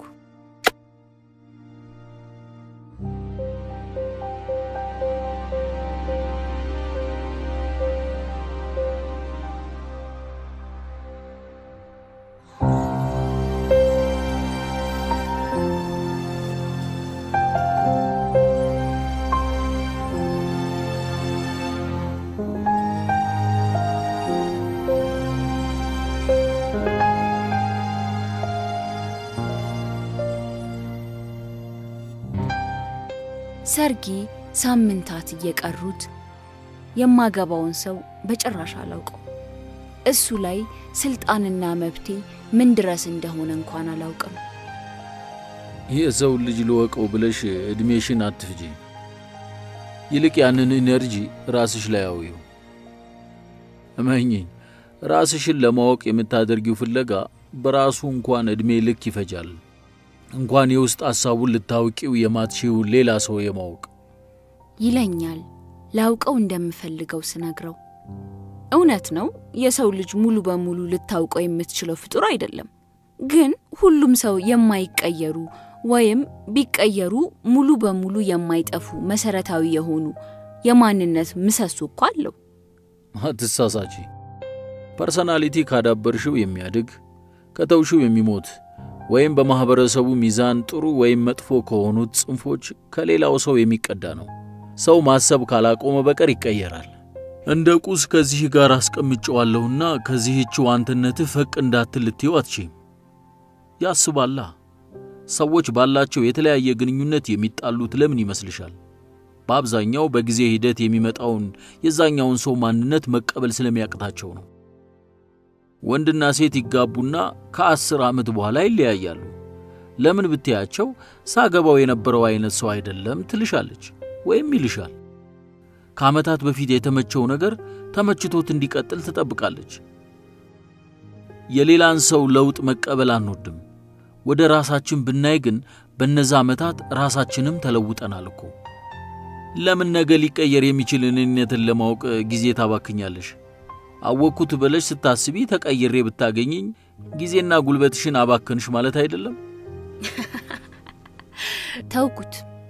ያለፈውን የእምነት መሰረቱን ለማወቅ መቆፈሬን ተውኩት። ዛሬ ላይ ብቻ ተኮርኩ። አብሬው ስሆን ያለው አዲስ ላይ ብቻ ተኮርኩ። ዛሬ የትላንታችን ውጤት መሆኑን ልቤ እያወቀ ትናንትን ከኔና ከእርሱ መሃል አሽቀንጥሬ ጣልኩት። ትናንት ምን ያክል ቢገፉት አራሙቻውን በጣጥሶ ዛሬ ላይ የመንገስ አቅም እንኳን እንዳለው ልቤ እያወቀ ትናንትን እንደ አሮጌ ሸማ ጣጥፌ የማልከፍተው ያረጀ ሳጥን ውስጥ ቆልፌ ከአዲስ ጋር አዲስ ኑሮ ጀመርኩ። ሽማግሌዎቼን ራሴ መርጫ አስላኩኝ። ሰርጌ ደመቀ። አሁን ደመቅሽኛ ልጅ ተባለልኝ። በቤተሰባችን ታሪክ ያልታየ የተባለለት ደማቅ ሰርግ ደገሰልኝ። የማታ ትዳር ሰጣት ተባለልኝ። ቆማ ቀረች ያለኝ ዘመድ አዝማድ እንኳንም ታግሰሽ ጠበቅሽ ትዕግስት ፍሬዋ እያለ አገላብጦ ሳመኝ። ውለዱ ክበዱ ተባለልን። ላለመውለድ ላለመክበድ ፈርሜ እንደገባው አያውቁም። የቤተሰብ ቅልቅል መልስ አንጃ ግራንጃውን ቤተሰቦቹ እዚህ አገር አይደሉም እያልኩ ስዋሽ ከረምኩ። አዲስ ዝም ብሎ አላለፈኝም። በየመሃሉ ሐሳብ ከመስጠት አይቦዝንም። ግን ባይዋጥለትም ለእኔ ከማዘን ውጪ ቀኔን አላበላሸብኝም። ኧረ ተይ፣ ሰዎች በሕይወትሽ ውስጥ ያላቸውን ሥልጣን ገደብ አበጅለት። ቤተሰቦችሽም ቢሆኑ ሕይወትሽን የሚያማስሉበት ገደብ አለው። ዛሬ ለእነሱ ብለሽ ሰርግ ደገሽ፣ አገባሽ፣ ዋሸሽ። አያቆምም እኮ አንቺ የማስቆም ሐሳብ ከሌለሽ ብሎኝ ነበር የቅልቅሉ ቀን።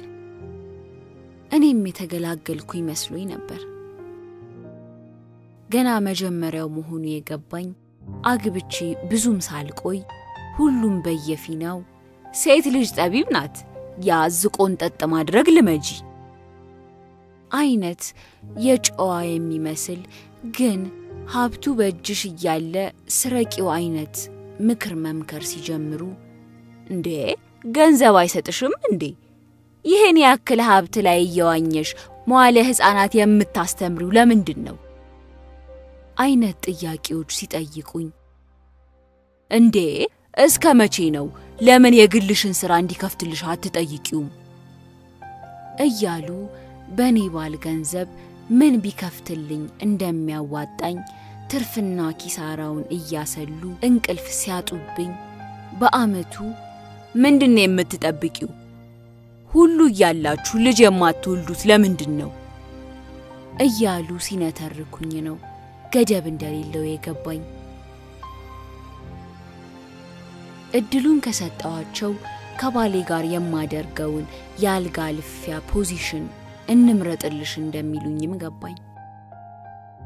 በተጋባን በወራት ውስጥ አዲስ ለቤተሰቦቼ በሐሳባቸው እንኳን ሽው ብሎ ሊያውቅ የማይችል ትልቅ ዘመናዊ ቤት ገዛልኝ።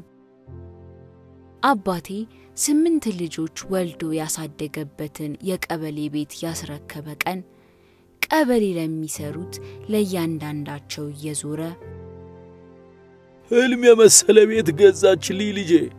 ልጅ ማለት እንዲህ ነው እያለ የቤቱን ፎቶ ሲያሳያቸው ዋለ። ትምህርት ቤት በተጠራ ቁጥር አንቺ መቼም እኔን ከማዋረድ የተሻለ ሥራ የለሽ። ደግሞ ምን አጥፍተሽ ነው? ያለኝን እልፍ ቀን በዝች አንድ ቀን ሙገሳ አጠፋሁት።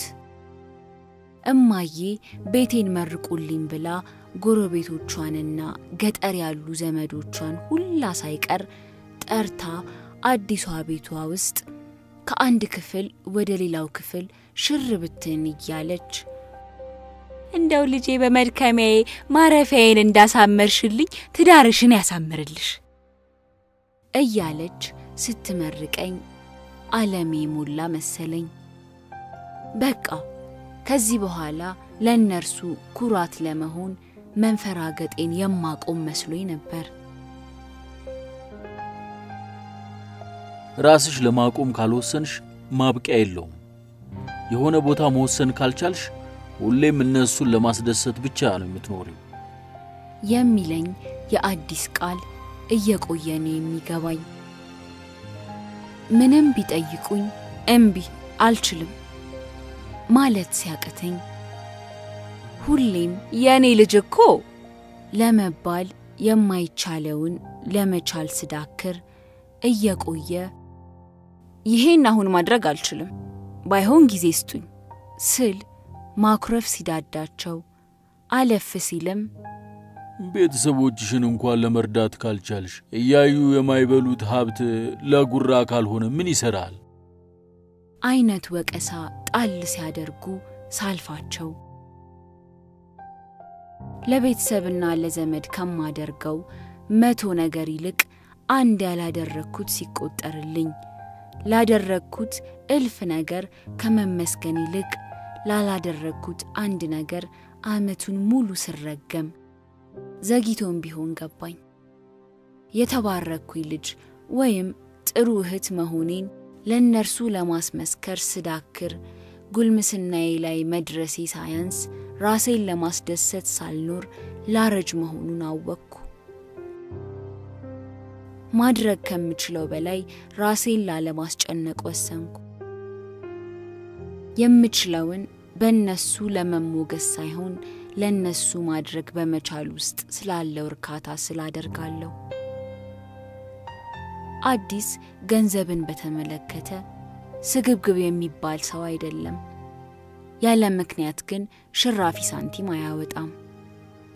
አንደኛውን የባንክ አካውንቱን በሁለታችን ስም አድርጎታል። ከሀምሳ ሺህ ብር በላይ ማውጣት ስፈልግ ግን የግድ እሱ መፈረም አለበት። በራሴ ምክንያት ከፍ ያለ ገንዘብ አውጥቼ አላውቅም። ሁሌም በቤተሰብ ምክንያት ነው። ካላሳመነው አይስማማም፣ ካሳመነው ዝም ይላል። አንዳንዴ ሲመስለኝ ባይዋጥለትም ለእኔ ብሎ ግን ያልፈኛል። ከቤተሰቦቼ አዙሪት ውጪ ትዳሬ እንደተለመዱት የትዳር አይነት ቅርጽ ሳይዝ ቀጠለ። በፍቅር ወይም በተለመደው የትዳር ሕግ ሳይሆን የሚተዳደረው ራሳችን በተስማማንባቸው ሕጎች ነው። ያልጻፍናቸው ግን የተስማማናቸው ብዙ ሕጎች አርቅቀናል። በትንሹ ሃኒ፣ ቤቢ፣ ማሪ፣ ውዴ የሚሉትን የቁልምጫ ቃላቶች ካለመጠቀም ጀምሮ ልጅ እስካለመውለድ ድረስ ያለፈ ሕይወታችንን አንደኛው አካል ፈቃደኛ ሆኖ መናገር እስካልፈለገ ድረስ ለመቆፈር ምንም አይነት እርምጃ ካለማድረግ እስከ አንደኛው አካል ትዳሩን ለቆ ለመሄድ በፈለገው ጊዜ መብቱ እንደሚከበርለት ብቻ ብዙ ሕጎች። ሁለታችንም ያልገባን ወይም ማመን ያልፈለግነውን ሕግ የሚጥስ ስሜት መኖሩን ነው። ሳላውቀው ሳላሰላ ምንም አይነት ሂሳብ ሳልሰራ ሕግ ጣስኩ። ዛሬ ላይ ለምቀጣው ቅጣቴ ሁላ ጥፋቴ ያ ነበር። አብሬው ስኖር ያወቅኩትን አዲስ በአእምሮዬ ትግል የልቤን ስሜት አሸንፌ አለመውደድ አቃተኝ። በእያንዳንዷ ቀን አፍኜ እስከማልይዘው ድረስ ፍቅሩ ልቤ ውስጥ ተቆለለ። መቼ እንደሆነ አላውቅም። ብቻ ግን የሆነኛው ቀን ላይ እሱ ልብ ውስጥ ለመቀመጥ ምንም ነገር መሰዋት የማደርግ አቅመ ቢስ ሆኜ ራሴን አገኘሁት። ይኸው ነበር ጥፋቴ። እንዳገባው ለራሴ ለማሳመን ምክንያቶችን የደረደርኩለት ሰው እንዳላጣው የትኛውን ምክንያት እንደማደረጅ ቸገረኝ ምንድን ነው? አለኝ የሆነ ቀን ማታ ልንተኛ ወደ አልጋችን ሄደን እየተሳሳምን አቋርጦኝ። ምኑ አልኩት ግራ ገብቶኝ። አሁን የሳምሽኝ መሳም ልክ ያልሆነ ነገር አለው። አለኝ ያለው ገብቶኛል። አዎ ፍቅር አለበት ብለው ደስ ይለኝ ነበር። ምላሹ ምን እንደሚሆን ልብ ያስቀድሞ አውቆ ነው መሰለኝ ፈራሁት። ባሌን አብሬው ኑሮ የምጋራውን አጋሬን አቅፌው የምተኛውን ፍቅሬን ምንም የማልደብቀውን የልብ ጓደኛዬን ማፍቀሬ በደል ሆነብኝ። ስለ የትኛውም ስሜቴ ይዳኘኛል ብዬ የማላፍረውን ባሌን ፍቅሬን ዋሸሁት። ከንፈሮቹ እሱ እንደሚለው ከስሜት መጠቃቀም ልቀው መለኮታዊነት ያለው ዓለም ውስጥ እንደሚከቱኝ መንገር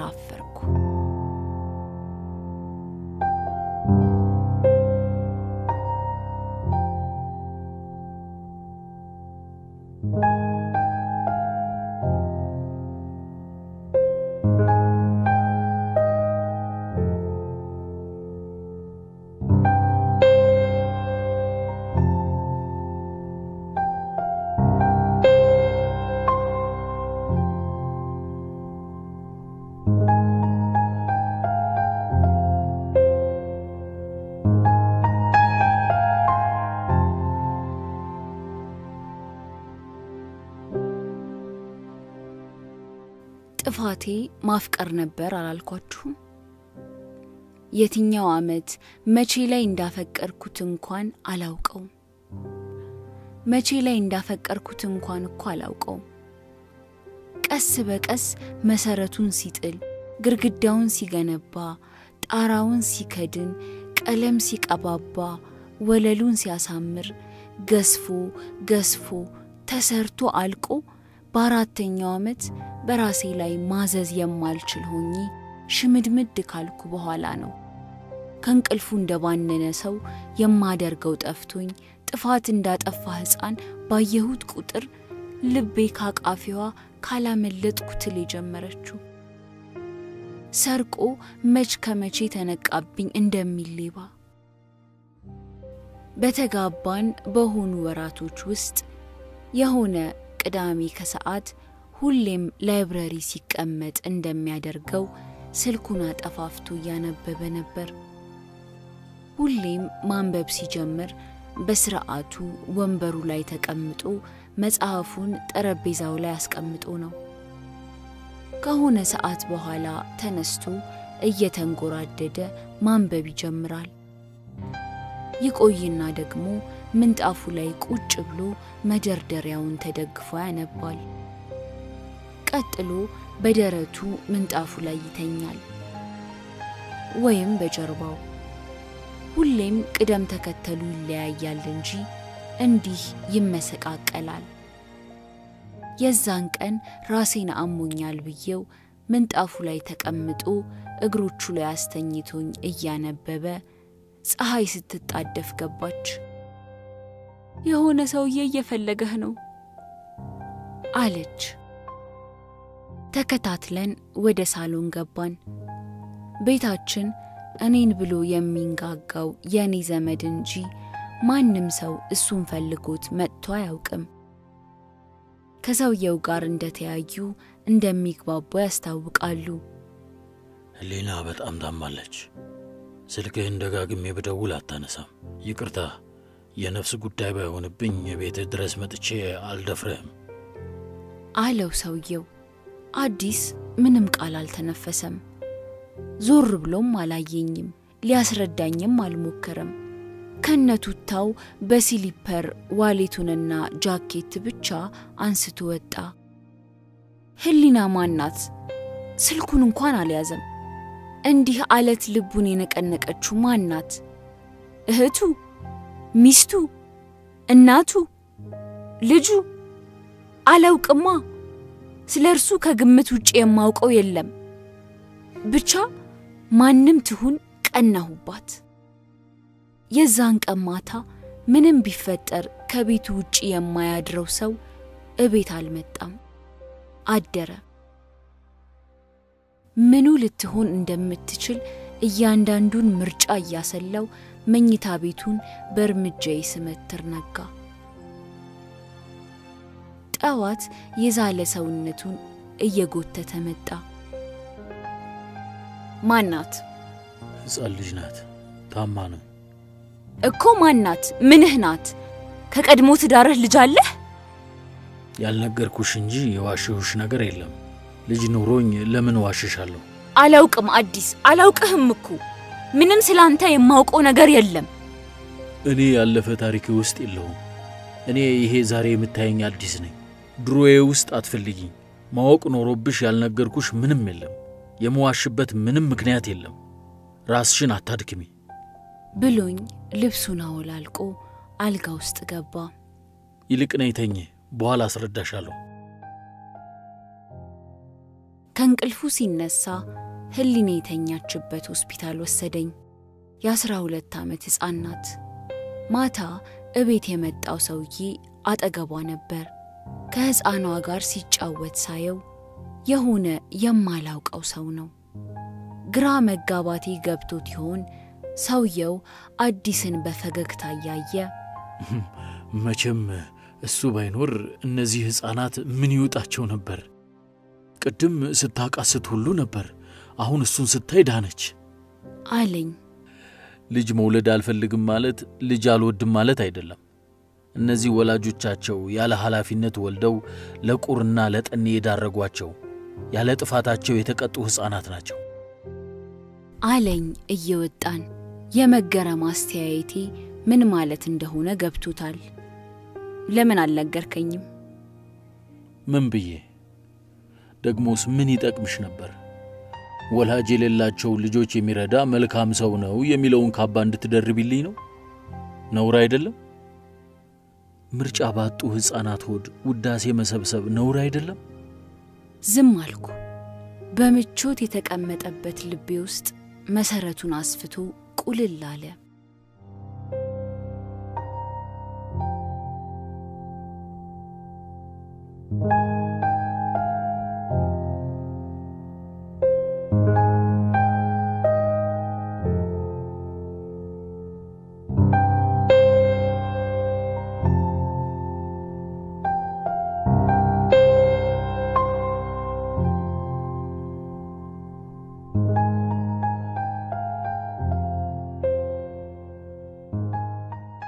ደሞ የሆነኛው ቀን ከስራ ደወለልኝና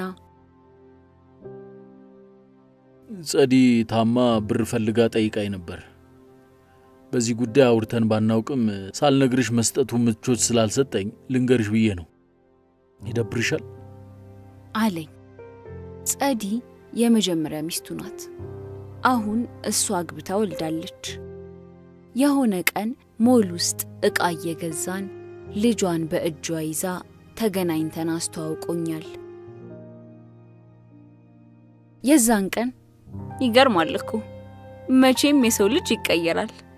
አዲስ የሰርግ ግርግር ተመችቶት ደግሶ አገባ። ማመን እኮ ነው የሚያቅተው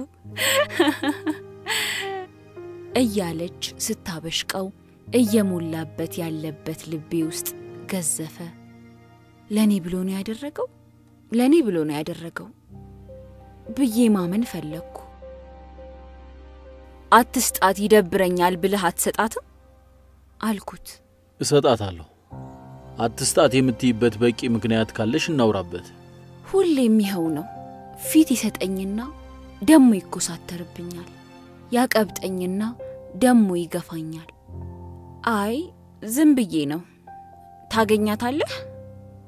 ድምፄ እሱ ላይ ስልጣን ስለሌለኝ ከመቀዝቀዝ ውጪ ምርጫ እንዳልነበረኝ አሳበቀብኝ። አዎ ሄጄ ነው ብሩን የማቀብላት። ታማለች እኮ። ትዝብት ያለበት አይነት ለዛ። መጥቼ ልውሰድሽ፣ አብረን እንሂድ። ይኸው ደግሞ ሲያቀብጠኝ መጥቶ ይዞኝ እየሄደ ለምንድን ነው ያላመንሽኝ? ከጸዲ ጋር እኮ ተበቃቅተን ነው በምርጫችን የተለያየ ነው። ለምን የምመለስ መሰለሽ? እኔ እንጃ። ዛሬም ላይ ግን ሲቸግራት የምትጠራ ሰው ነህ። ምንም ማሰብ አልነበረብኝም። የኔና ያንተ ትዳር እኮ በሕግ እንጂ በፍቅር የቆም አይደለም። ሕግ ያለ ፍቅር አቅም ያጣል። አብረሽኝ ደስተኛ አይደለሽም? እኔ እኮ ደስተኛ ነኝ። ሌላ ሴት ጋር የመሄድበት ምክንያት የለኝም። ለምን ታወሳስቢዋለሽ? አንቺ ጋር ጎሎብኝ ሌላ ሴት የምፈልገው ጉድለት የለኝም። ይሄኛው ሁለት አይነት ስሜት ሰጠኝ። ደስተኛ መሆኑ ደስ አለኝ። አታወሳስቢው ያለበት ድምፅ ማስጠንቀቂያ መሰለኝ። እናም ላለማወሳሰብ ዝም አልኩ። በየሆነ ጊዜው የሚያስገርመኝ ባህሪውን አውቃለሁ። ላልወደው አልችልም ነበር፣ ግን ዝም አልኩ። ለምንድን ይሄን ያክል ኢሞሽናሊ ከሰዎች ጋር መቆራኘት የምትፈራው? ታዝናለህ፣ ግን እንዳዘንክ ማንም እንዲያውቅብህ አትፈልግም። ትራራለህ እኮ ግን ድክመት ስለሚመስልህ ትሸፍነዋለህ። ትወዳለህ፣ ግን መሸነፍ ስለሚመስልህ ትደብቀዋለህ አልኩት። የሆነ ቀን እሁድ ሕፃናቶቹ ጋር ውለን እየተመለስን ሁሉም በድርብቡ ነው ጥሩ። ኢሞሽን በገዛ እጅሽ ነፃነትሽን በሸምቀቆ መጠፍነግ ነው። ለሐሴትሽ የተደገፍሽው ሰው የነገ ሐዘንሽ ምክንያት እንዲሆን ሥልጣን እየሰጠሽው ነው። ማንም ልጓም እንዲያበጅልኝ አልፈልግም። ተደግፌህ ጥለኸኝ ስትሄድ ወድቄ ተሰበርኩ ብለሽ ማንንም መውቀስ መብት የለሽም። የሰው ልጅ ይቀየራል። ሁሌ ለአንቺ ደስታ ምክንያት ለመሆን ሲል ድካፍሽ ሆኖ ተገትሮ አይቀርም፣ ይሄዳል። ማወቅ ያለብሽ በሕይወትሽ ውስጥ ሰዎች ይመጣሉ፣ ይሄዳሉ። አብረሻቸው ስትሆኚ ጥሩ ጊዜ አሳልፊ፣ ሲሄዱ ተንቀሳቀሺ። ያስተሳሰራችሁ መጠቃቀም ሲሳሳ emotion የምትዩ ብን ይላል። በተደጋጋሚ በየጨዋታው በ emotion መጠለፍ እንደማይፈልግ እያስረገጠ ይነግረኛል። በቃ ምንም ስሜት የለውም እንዳልል እያንዳንዱ ድርጊቶቹ ለእኔ የሚታዩኝ በፍቅር ተጠቅልለው ነው። ምንም ስሜት የሌለው ሰው ከአራት ዓመት በኋላ እንኳን የሚስቱን ፀጉር ያጥባል? ምንም ስሜት የሌለው ሰው ዛሬ የበላሁት ምግብ አልተስማማኝም መሰለኝ አስመለሰኝ እኮ ስለው በደቂቃ ቢሮ ድረስ መጥቶ ደህና መሆኔን check ያደርጋል? እሺ፣ ምንም ስሜት የሌለው ሰው ከደረጃ ወድቄ እጄ የተሰበረ ቀን የታሸገውን እጄን ደረቱ ላይ አድርጎ ሳያንቀሳቅስ ያድራል? እሺ፣ ምንም ስሜት የሌለው ሰው አራት ዓመት ሙሉ ነፍስ ከስጋዬ የሚያስቃጥተኝን ፍቅር ይሰራል? እሺ፣ ምንም ስሜት የሌለው ሰው ዓይንሽ ላይ እምባሳይ ቀኔ ይበላሻል ይላል? እሺ፣ ምንም ስሜት የሌለው ሰው ጠዋት ሳትስሚኝ ሄጄ ሰራተኞቹ ላይ ተቀየርኩባቸው እኮ። ለምንድን ነው ሳትስሚኝ ሄድሽው? ይላል። ከዛ ደግሞ ዓለሜን ድብልቅልቁን ያወጣውና እኔ ከቀኑ ብጉድልም ምንም እንደማይጎድልበት ይሆናል።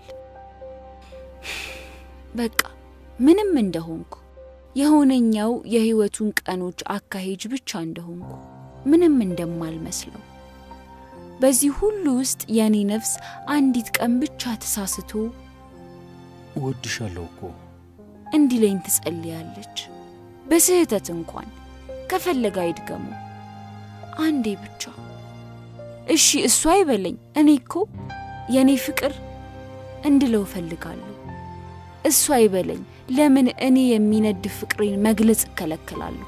ጠዋት እኮ ስሜህ ወጥቼ ማታ እስክመለስ እንደ ቲኔጀር እቅበጠበጣለሁ ልለው እፈልጋለሁ። መስማት የማይፈልገው ነገር መሆኑን አውቃለሁ። ካፌ እንዳያመልጠኝ ተጠነቀቅኩ። እቅፉ ውስጥ ሆኜ የምትደልቅ ልቤ የምታሳብቅብኝ ይመስል ተሳቀቅኩ።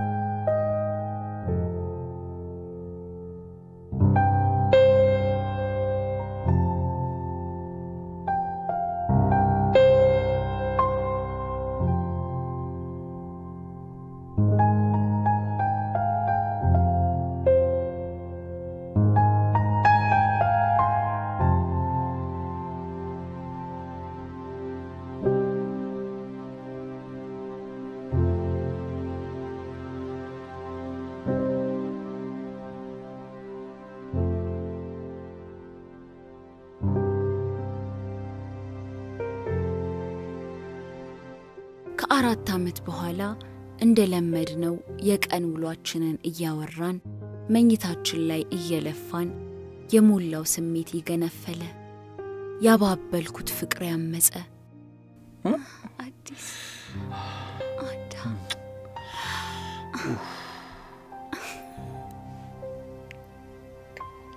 እኔ ከዚህ በላይ ማስመሰል አልችልም። ከአቅሜ በላይ ነው የምወድህ።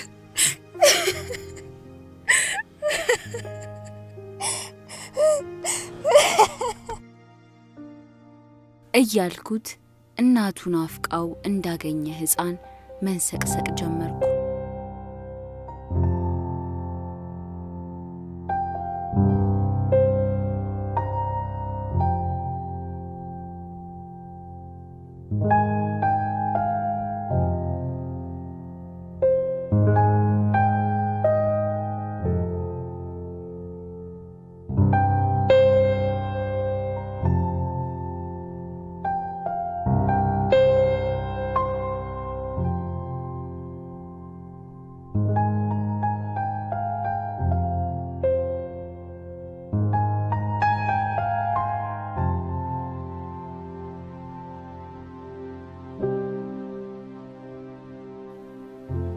የሚያስለቅሰኝ ምኑ እንደሆነ ለራሴ ምክንያት መስጠት አልቻልኩም። ፍቅሩ፣ ፍርሃቴ፣ ወይስ ሳልናገር መታፈኔ? ብቻ አላውቅም። እንደ ሕፃን ድምፅ አውጥቼ እየዬ ማለት ጀመርኩ። እሱ መጀመሪያ እየከወነ ያለውን ልፋት በቀስታ ቆመ። አውቃለሁ እኮ አለ ለእኔ ይሁን ለራሱ የተናገረው በማያስታውቅ አወራር። አውቃለሁ እኮ ያለበት አባባል አውቄልሻለሁ እኮ ፍቅርሽ ገብቶኛል፣ ተረድቼሻለሁ። አይነት አይደለም፣ የሆነ የቁጭት አይነት፣ የብስጭት አይነት ነበር።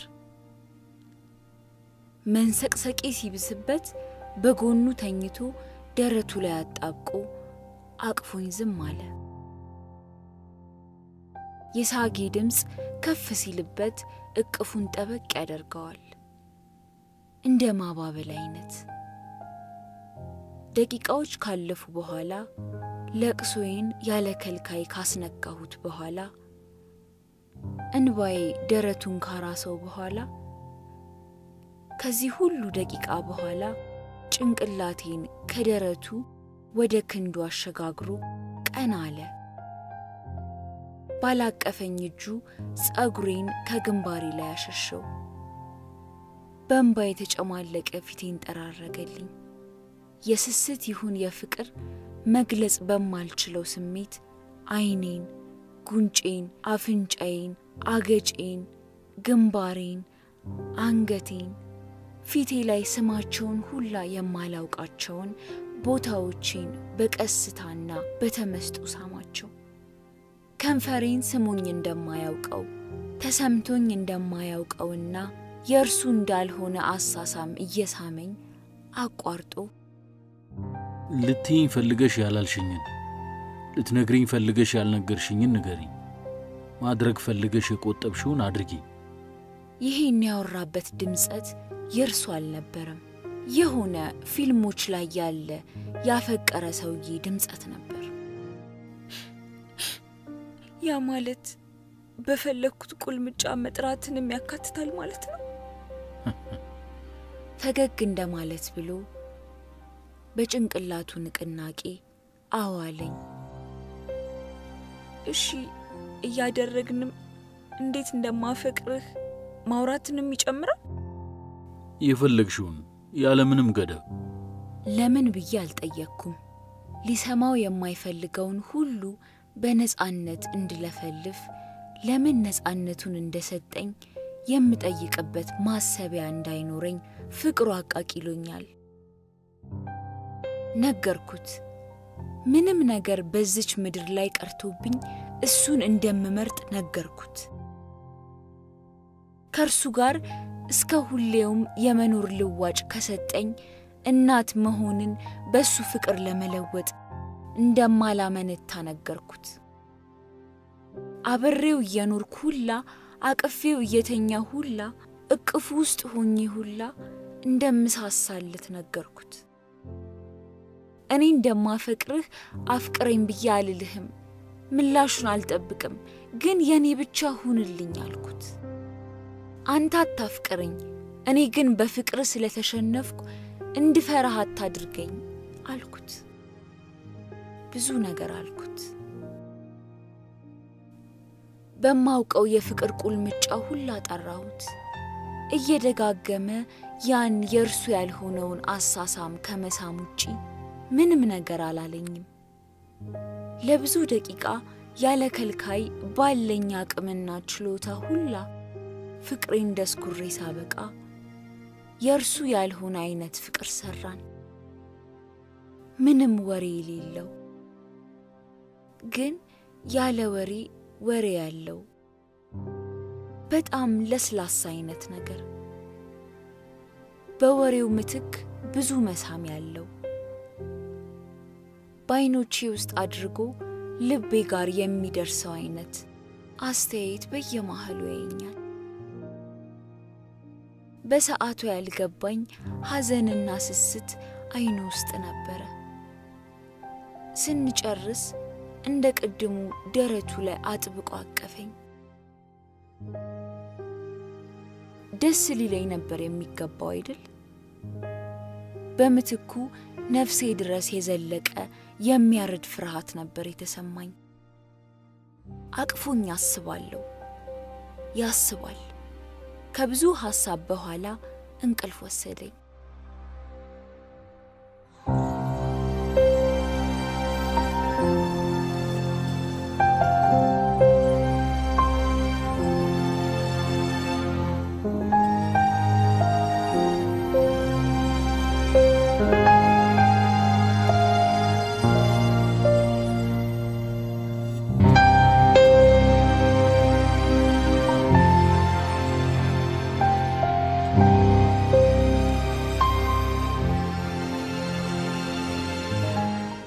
ስነቃ ስተኛ እንደነበረው የራስጌው መብራት እንደበራ የምበር ይመስል አጥብቆ እንዳቀፈኝ አይኖቹ እንዳፈጠጡ ነው። እንቅልፍ አልወሰደህም እንዴ? አዎ፣ አልተኛውም። አሁንማ ነጋ። ምን እያሰብክ ነው አንቺን እንዴ? እቅፍ ውስጥ ሆኜ ስለ እኔ ምን ያሳስብሃል? አልመለሰልኝም። ተነስቶ ገላውን ተጣጥቦ ሳይስመኝ ቀድሞኝ ወጥቶ ወደ ሥራ ሄደ። ቀኑን ሙሉ መብላትም ማሰብም ልጆቹን ማስተማርም በትክክል ማሰብም ሳይሆንልኝ አሞኛል ብዬ አስፈቅጄ ወደ ቤት የተመለስኩ። ከሥራ እስኪመለስ ጓጓሁም ፈራሁም። የጠዋቱን ሳይሆን የማታውን አዲስ ቢመልስልኝ ጸለይኩ። እየደጋገምኩ ምን አለ ባልነገርኩት እላለሁ። ደግሞ መልሼ አይ አልችልም ነበር እላለሁ። የሆነኛው እኔ አዲስን ላላገኘው እንደሸኘሁት ነግሮኛል። የሆነኛው እኔ ያን ማመን ስላልፈለገ ጥሩ ጥሩውን ሰበብ ይጎነጉናል። ያልበላሁት ምግብ ሊያስመልሰኝ ያቅለሸልሸኛል። እጄን ያልበኛል። ስቀመጥ ስነሳውዬ መጣው። ሲገባ እንደ ሌላው ቀን አልሳመኝም። ያ የምፈራው አዲስ ሆነ። ጠበቅኩት ካፉ የሆነ ነገር እንዲወጣ። ምንም ቃል ሳይተነፍስ እራት ቀርቦ በላን። ውሎህ ጥሩ ነበር? የተለመደው አይነት ደሞ የማወራው እፈልግ እፈልግና ብታይ ዛሬ እኮ አሞኝ ጠዋት ነው አስፈቅጄ የመጣሁት።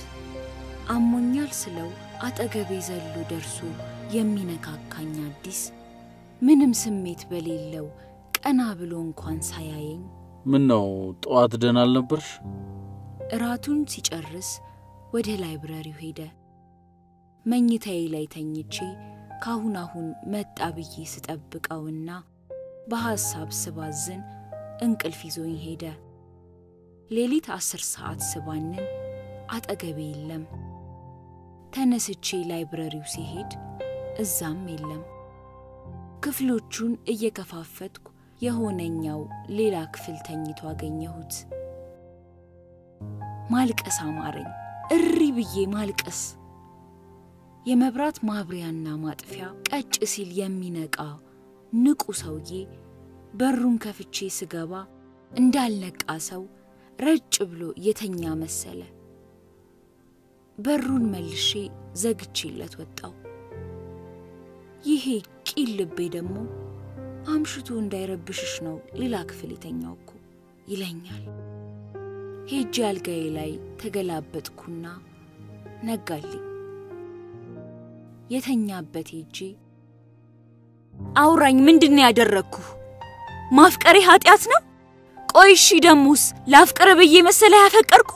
ለየትኛው በደሌ ነው የምትቀጣኝ? ታውቅ ነበር አይደል እንዳፈቀርኩ? አፌ ላወራቸው ቃላት ነው የምትቀጣኝ? ጥያቄ አልነበረም፣ ልመና ነበር። መጨረሻ ላይ ካፉ የወጣው ቃል እንፋታ የሚል ነበር። ራሴን የምስት መሰለኝ። የሰማሁትም ቃል እኔ ጆሮ ሲደርስ አበላሽቼ ሰምቼውም መሰለኝ። ምን እንፋታ አይደለም አይደል ያልከው? ነው እንፋታ ነው ያልኩሽ። ቃላቶቹን ሁሉ ሲላቸው በጭካኔ ነበር። ቆይ ምንድን ነው ያደረግኩህ? ንገረኝ፣ ምንድን ነው ምክንያትህ? ምክንያቴን ልነግርሽ አልችልም። በእኔ መፈቀር የዚህን ያህል የሚያስጠላ ነገር ነው? ፍቺን የሚያስመርጥ ነው? በመነጋገር ታምን የለ እንዴ? የማንነጋገረውን ነገር እኮ ኖሮን አያውቅም። እሺ ፍታኝ፣ ግን ቢያንስ ምክንያቱን እንኳን ማወቅ የለብኝም?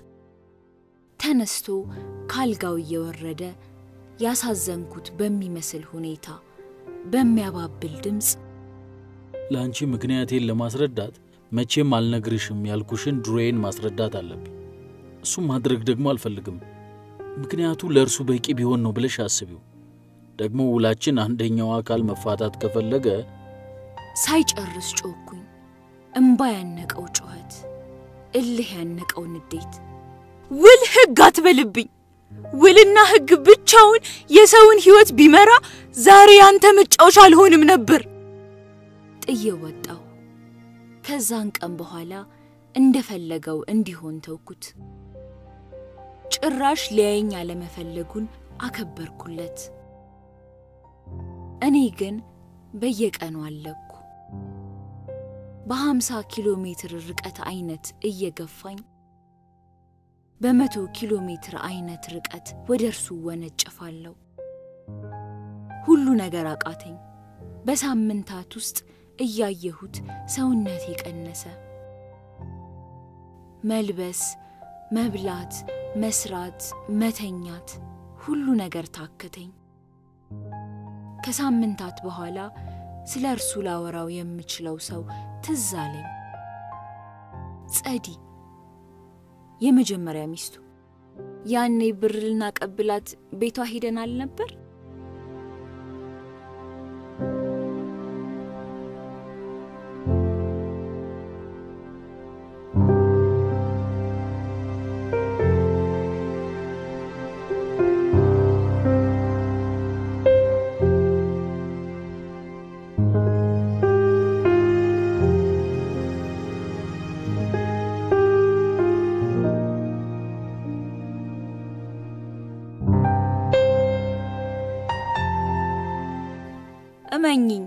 አንቺ ከምታውቂው የተለየ ስለ እርሱ የማውቀው ነገር የለም። እኔ የመጀመሪያው ስለሆንኩ የማውቀው ነው የሚመስላችሁ? ስትለኝ በብዙ ቁጥር የጠራችን ከማን ጋር ደርባ እንደሆነ ሳስብ ሁለተኛ ሚስቱ ልክ እንደኔ ግራ ሲገባት መጥታ ዋርታት እንደነበር ነገረችኝ። እኔ ሳገባውም በፍቅሩ ጧ ብዬ ነው ያገባሁት። እንደምታውቂው ነገረ ስራውን ላትወጁ አትችም። አስብ የነበረው ፍቅሩን መግለጽ ስለማይችል እንጂ ያፈቅረኛል ብዬ ነበር። ስህተት የነበረው ታውቂያለሽ፣ ብልህ ሴት ወንድ ልጅ ትቀይራለች በሚል እሳቤ ነው ያደግኩት እና ከትዳር በኋላ ይቀየራል የሚለው እምነቴ ነበር። ተጋብተን መኖር ከጀመርን በኋላ ግን የሚያደርግልኝን የሚያደርገው በባህሪው ጥሩ ሰው ስለሆነ እንጂ በፍቅር አለመሆኑን አወቅኩ። በዛ ላይ ለማያፈቅረኝ ሰው ስል እናት የመሆን ስጦታን መዝለልን ልቀበለው አልቻልኩ። የሆነ ቀን እንደምንለየው እርግጠኛ ስሆን ተነጋገርንና ተፋታን። ስለ እርሱ ሳወራ ከሚገባው እርሱን አብሮ ኖሮ ከሚያውቀው ሰው ጋር ስለ እርሱ ማውራት የሆነ ደስ የሚል ስሜት ስለሰጠኝ ከኔ ጋር የተፈጠረውን ስነግራት በቃ ብላ ጮኸች። አዎ በቃ። አይ የሆነ ነገርማ አለ። እንደምታፈቅሪው ስለነገርሽው እንፋታ አይልም አዲስ። ሳንጋባ በፊት ጀምሮ እስከምንለያይ ድረስ እንደማፈቅረው በየቀኑ ነግረው ነበር። ከእርሱ ምንም ምላሽ አታገኝም እንጂ ያንቺን ስሜት አይከለክልሽም። ከማን ሰውየው እኮ አዲስ ነው። የሰው ልጅ ሐሳቡን ሳይበርዝ በነፃነት መግለጽ አለበት ብሎ የሚያምን ሰው ነው። ያመነውን ደግሞ እንደሚኖር ታውቂያለሽ። በእናቴ ምልልሻለሁ፣ ያልነገርኩሽ ነገር የለም። ከዚህ የተለየ ያደረግኩትም ምንም ነገር አልነበረም። ሰብለን ከፈለግሽ ጠይቂያት። ሁለተኛ ሚስቱ ናት። እሷም እንዳንቺ ካገባችሁ በኋላ ነው በፍቅር የበሰለችው። ምላሹን እንደማታገኝ ተስፋ ቆርጣ ፍቺ እስከፈለገችበት ቀን ድረስ እንደምትወደው ነግረዋለች። እኔ አላቅም፣ ምንም ሊገባኝ አልቻለም። oh my God ማሰብ እንኳን አልችልም። ምናልባት የራሱን ስሜት እንዳይሆን መሸሽ የፈለገው ብላኝ የሆነ ግኝት እንዳገኘ ሰው ጮኸች።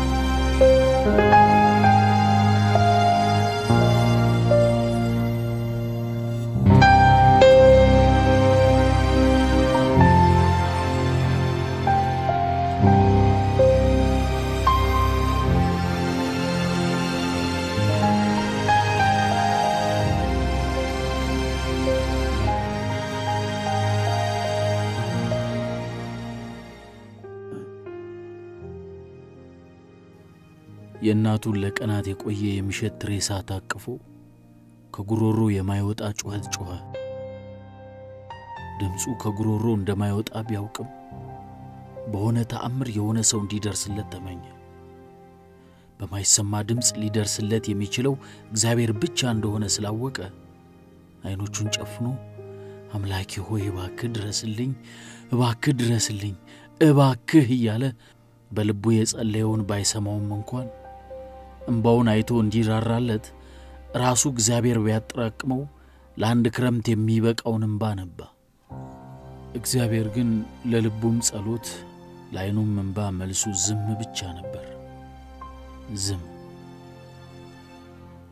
የመጨረሻዎቹ ቃላት ላይ ድምፁ እየቀነሰ እየሻከረ መጣ። ከመጀመሪያው አረፍተ ነገር በኋላ አልጻፍኩም። ጣቶቼ አደጋ ከደረሰባቸው የእርሱ ጣቶች በላይ ተንቀጠቀጡ። ስንት ዓመቱ ነበር አስራ ሁለት አለኝ። ስሜቱ መረበሹ በግልጽ እያስታወቀበት አስተካክሎ መግፋት የለመደውን ዊልቸር እየገፋ library ውስጥ ወዲህ ወዲያ እያለ የሕይወት መርሆቹና የሚያስብበት ጥግ ሐሳብን የሚገልጽበት መንገድ ሁሌም ሲያስገርመኝ አንተ እኮ መጽሐፍ መጻፍ ነበረብህ እለዋለሁ። ሁሌም መልሱ ተመሳሳይ ነበር። መስራት ሲደክመኝ ወይ ማቆም ስወስን በደንብ ጊዜ ሲኖረኝ ይጽፋለሁ። አንድ መጽሐፍ ይኖረኛል። እሱም የራሴ ባዮግራፊ ነው የሚሆነው። ከቀናት በፊት ከተለመደው የፊዚዮቴራፒ ሕክምናው እየተመለስን ድንገት የሆነ መገለጥ እንደበራለት ሰው አሁን ጊዜው አይመስልሽም? አለኝ።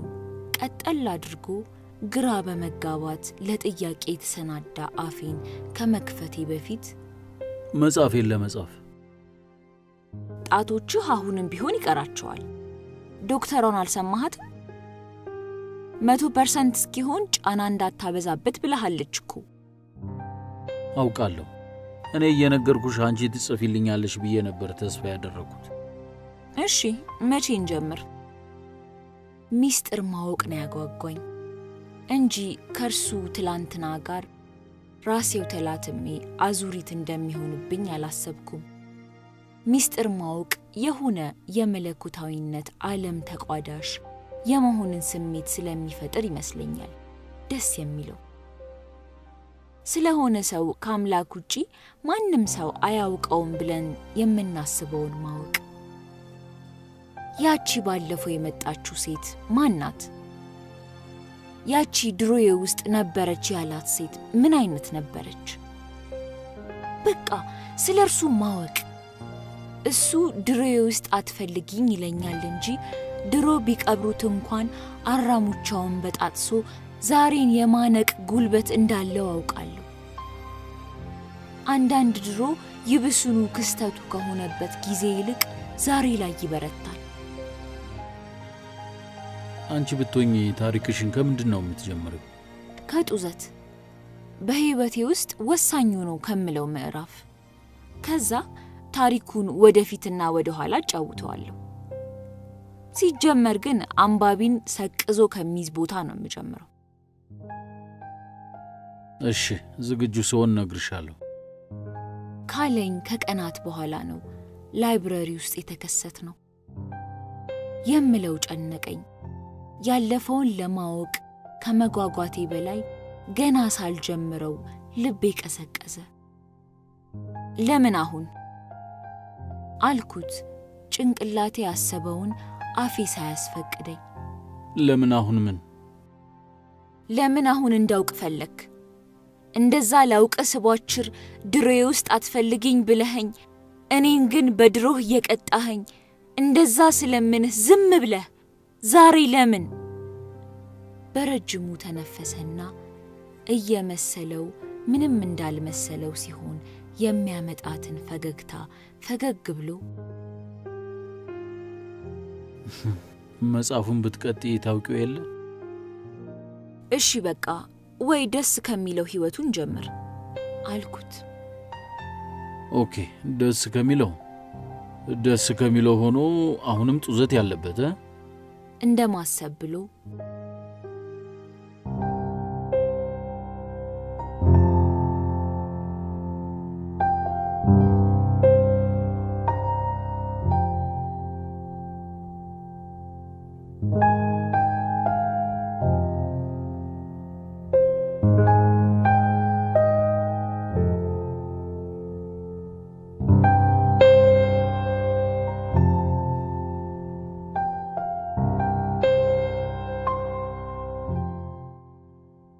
ሰውነቱ ከመቀዝቀዙ የተነሳ ለሰዓታት የተኛበት አንሶላ እንኳን ሳይሞቅ ድጋሚ ተመልሳ በሩን ከፍታ ገባች።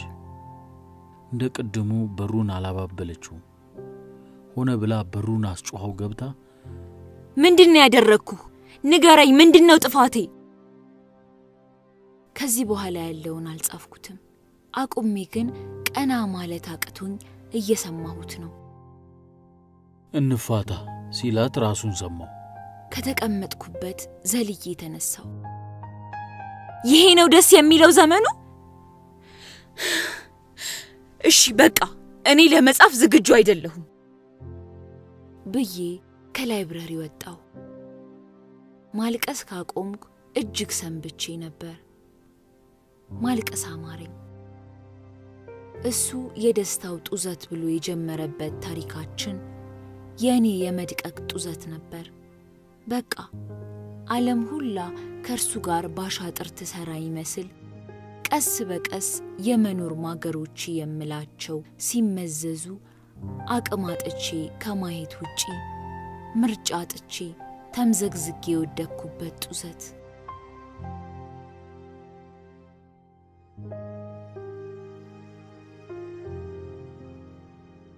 እንፋታ ካለኝ በኋላ ጸዲ ጋር የሄድኩለት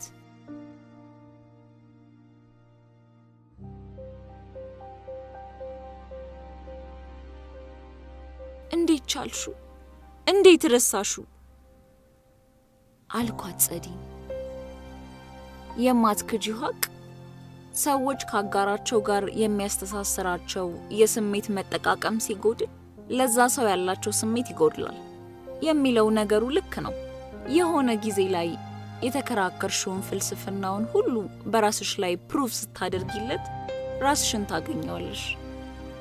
ያለምንም ምላሽ ማፍቀር ይደክማል። የሆነ ቀን ራስሽን ሲደክምሽ ታገኘዋለሽ። ከፍ ሲልም በተጎዳሽው ልክ ስትጠዩ ራስሽን ታገኘዋለሽ። ይቅርታ አድርጊልኝና ዘሞስት ሮማንቲክ የምትይው ቅጽበት ልትነግሪኝ ትችያለሽ? እባክሽ እንደ ድፍረት አትውሰጅብኝ። በቃ ጭንቅ ብሎኝ ነው። አረ ችግር የለውም በእናትሽ ይገባኛል ብላ እጄን ስትይዘኝ እምባዬን እንዴት ቁም ልበለው። ደንግጣ አቀፈችኝ። ከሳጌ ጋር እየተናነኩኝ አስሬ ይቅርታ ይቅርታ ይቅርታ እላታለሁ። ወይኔ ጸዲ፣ አዲስ ምንድን ነው ያደረግከው? አለች የሆነ ጣሪያው ላይ ሆኖ የሚሰማት ትንሽዬ አምላክ ይመስል አባብላኝ ስታበቃ የመጨረሻ የምንለያይ ቀን ለነበረን የሚታወሱ ትዝታዎች በጣም ነው የማመሰግነው። ለምትወልጃቸው ልጆች የምትገርሚ እናት እንደምትሆኝ ያውቃለሁ። ካስፈለግኩሽ የልጅ ልጆችም ወለሽም ቢሆን አስታውሰሽ ከደወልሽልኝ የምችለውን ሁሉ አለሁ። ከኔ ጋር ላሳለፍሽው ምርጥ ጊዜ እስካሁን ሰጥቼሽ ለማላውቀው ስጦታዎች ምትክና ለወደፊት ሕይወትሽ መጀመሪያ ይሆንሻል ብሎ ንብረቱ ቢሰላ የሚያወጣውን እኩሌታ ገንዘብ ሰጠኝ። ዝም ስትል ቀጣዩን እየጠበቅኩ እንደሆነ ገብቷት እንደ መባነን አይነት በቃ that was the most romantic day I have ever had with him ብላ ጨረሰችው። አላውቅም ነበር ውላችሁን ስላፈረሽ ንብረቱን ያልተካፈልሽ ነበር የመሰለኝ። ወል አዲስ ጥሩ ነገር ሰራው ብሎ አይነግርሽም ራስሽ ካልደረስሽበት በስተቀር። ጥሩ ስለሆነ እንድትወጁ አይፈልግም። ራሱን ስለሆነ እንድትቀበዩ ነው የሚፈልገው።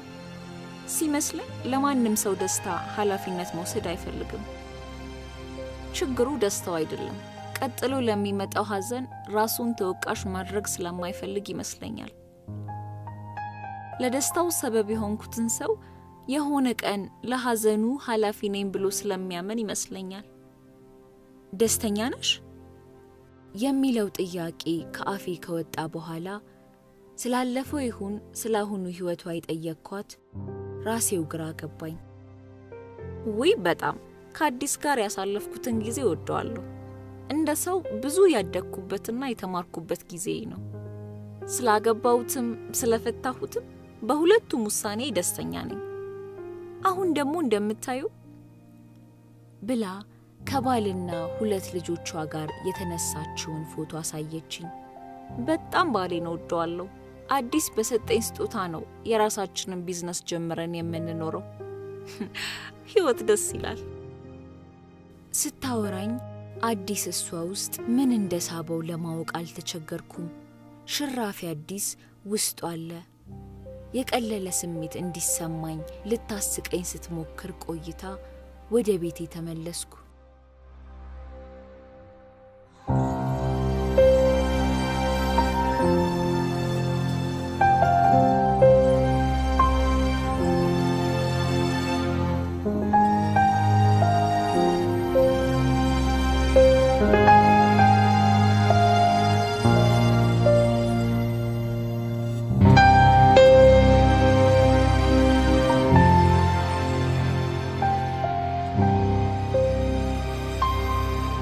የአዲስ ሚስቶች ማህበር ነገርማ መመስረት አለብን።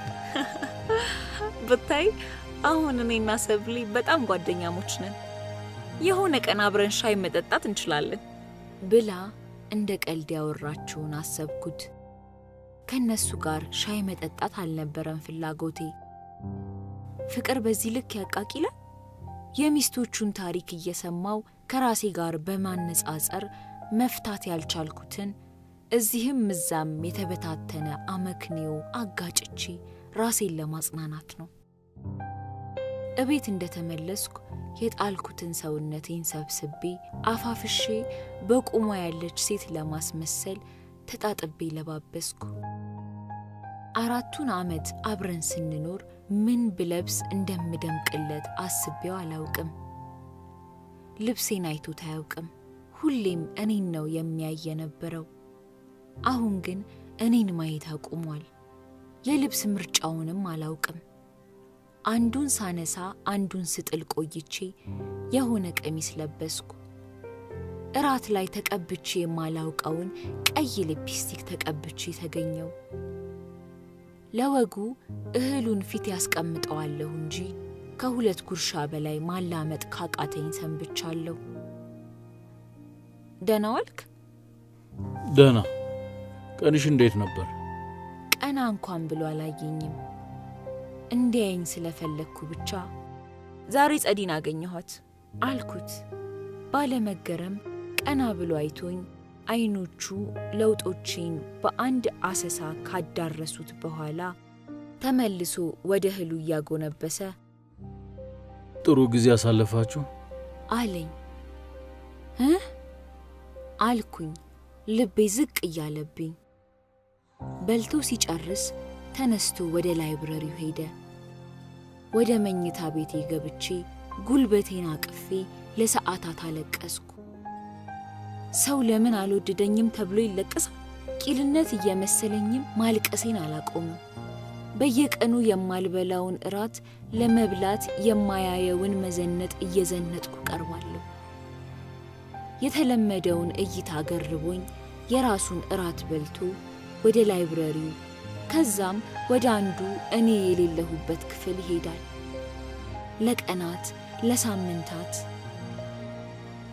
የሆነኛው ቀን ወንድሜ በጠዋት ሲበር እቤቴ መጣ። ያየኝ ሰው ሁሉ ምን ነው ደህና አይደለሽ የሚለኝን አይነት የሰውነት መቀነስ ሾቄ በትክክል ማሰብ ስላቃተኝ ትምህርት ቤት መሄዱን ትቼ ሰኞና ቅዳሜ ተምታተውብኝ፣ ጥቅምትና ሐምሌ ተሳክረውብኝ፣ ቀንና ማታው ተምታቶብኝ ምን ነው እህቴ ደህና ነሽ ግን? የሚል ሰላምታ አልነበረም ካፉ የወጣው። እንዴት በቤተሰቦችሽ ትጨክኛለሽ? ጎዳና ቢወጡ ኩራትሽ የሚሆን ነው የሚመስልሽ? በሚል ወቀሳ ነው የተቀበለኝ። የራሴ ችግር ያለብኝ አይመስላቸውም። የራሴ መከፋት ያለብኝ እንደሆነ አያውቁም። እኔ በቃ የሆነ የተንጣለለ ቤት ውስጥ የምኖር የኤቲኤም ማሽን ብቻ ነኝ ለነሱ። ሲቸግራቸው እንጂ ቸግሮኝ ይሆን ትዝ የማልላቸው፣ ሲከፋቸው እንጂ ከፍቶኝ ይሆን የማልታወሳቸው፣ ሊደርስላቸው እንጂ ግዴታ ያለብኝ ሊደርሱልኝ ሩቃቸው ነኝ። አባቴ ድሮ የተወውን ቁማር በስተርጅና አዲስ ካፈራቸው ወዳጆቹ ጋር ሲቆምር ቤቱን አስበልቶ ነው ልክ የኔ ጥፋት ይመስል በየተራ እየመጡ የሚያስጨንቁኝ። ምን አገባኝ ገዝቼ የሰጠሁትን ቤት አላወጣሁበትም ብሎ አይደል በማይረባ ገንዘብ ያስያዘው እንዴ? ቆይ እሺ በምን ዕዳዬ ነው የቁማር ብር የመክፈል ግዴታ እንዳለብኝ የምታስቡት? ምንም ቢሆኑ እኮ ቤተሰቦችሽ ናቸው። ያለበት አባባል ውስጡ ምን አይነቷ ክፉ ነሽ የሚል ቅላጼ ነበረው። ትቼ ነበር እኮ የማልችለውን ለመቻል መጋጋጥ አቁሜ ነበር። ያን ያጎበዘኝ አዲስ ነበር። አሁን ግን ግራ ገባኝ። የምርም ዝም ብላቸው እንዴት ይኖራሉ? በዛ ላይ ታናሽ እህቴ ስራም ሳይኖራት ለልጁ ወተት እንኳን ከማይገዛ ወንድ ወልዳ እቤት እነሱ ጋር ናት። በየወሩ ለቀለብ የምቆርጥላቸው ከአዲስ ጋር ተነጋግረን በጋራ ከምንጠቀመው account ነው።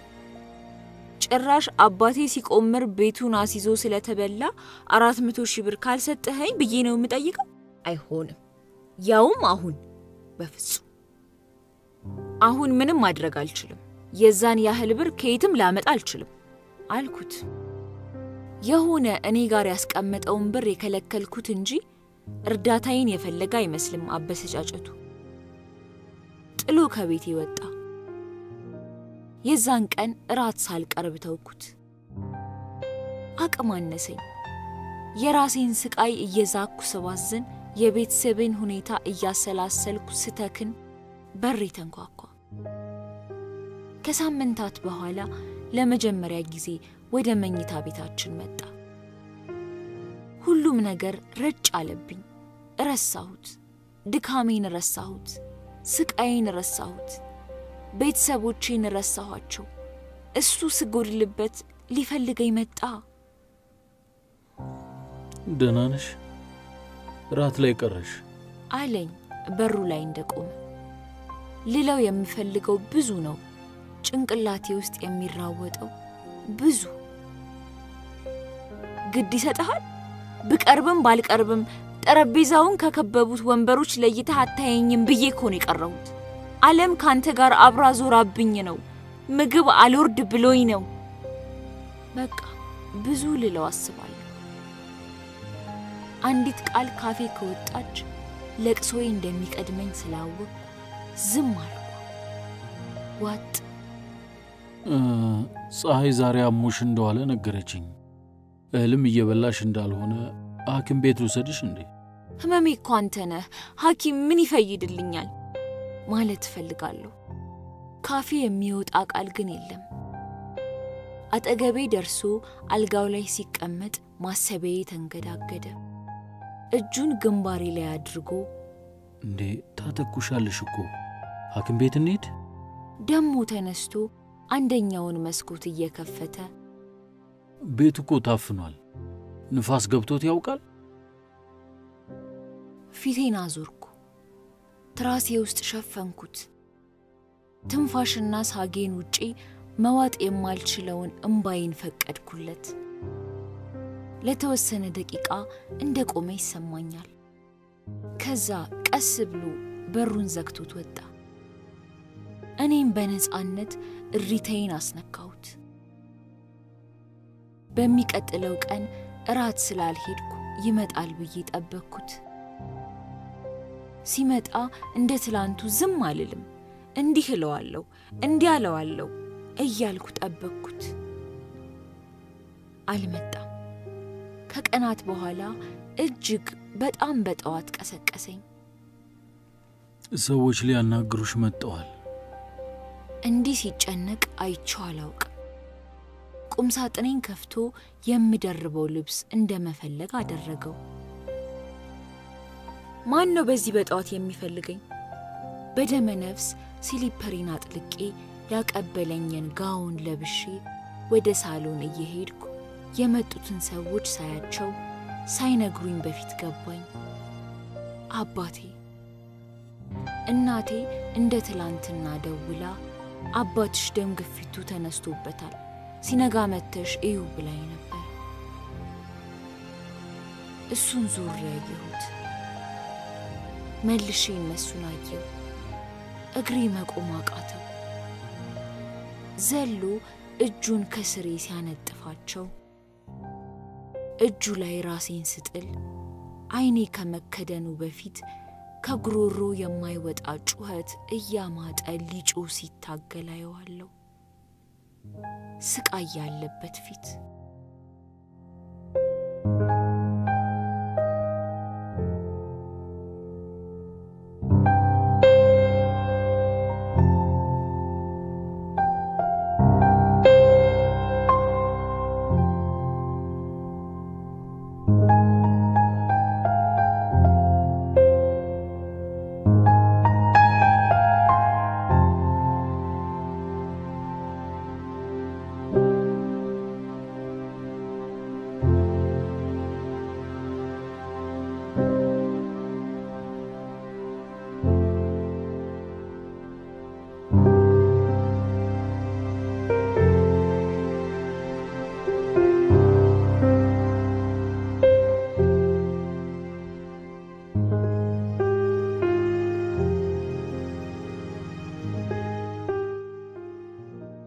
ሰከንዶች ወይ ደቂቃ አላውቅም እጁ ላይ ምን ያክል እንደቆየሁ።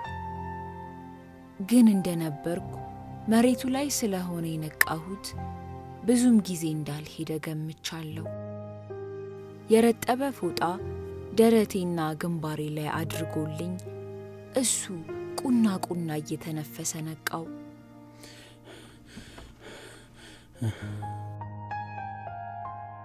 ተጠርቶ ይሁን ማወቅ ያልቻልኩት ጎረቤት ያለው ሰውዬ ተሸክመው ወደ መኪናው እንዲወስዱኝ ይወተውታል። መርዶ ሊያረዱኝ የመጡት ሰዎች ይተረማመሳሉ። ፀሐይ ጸሎት ይሁን ወቀሳ ያለየለት ማልጎምጎም ለአምላክም ለእኛም ታሰማለች። መተንፈስ አቅቶት ሲጨነቅ እሱን ያየው የለም። የተንተራስኳቸው እግሮቹ ይንቀጠቀጣሉ። ፎጣ የያዙት እጆቹ ይንቀጠቀጣሉ።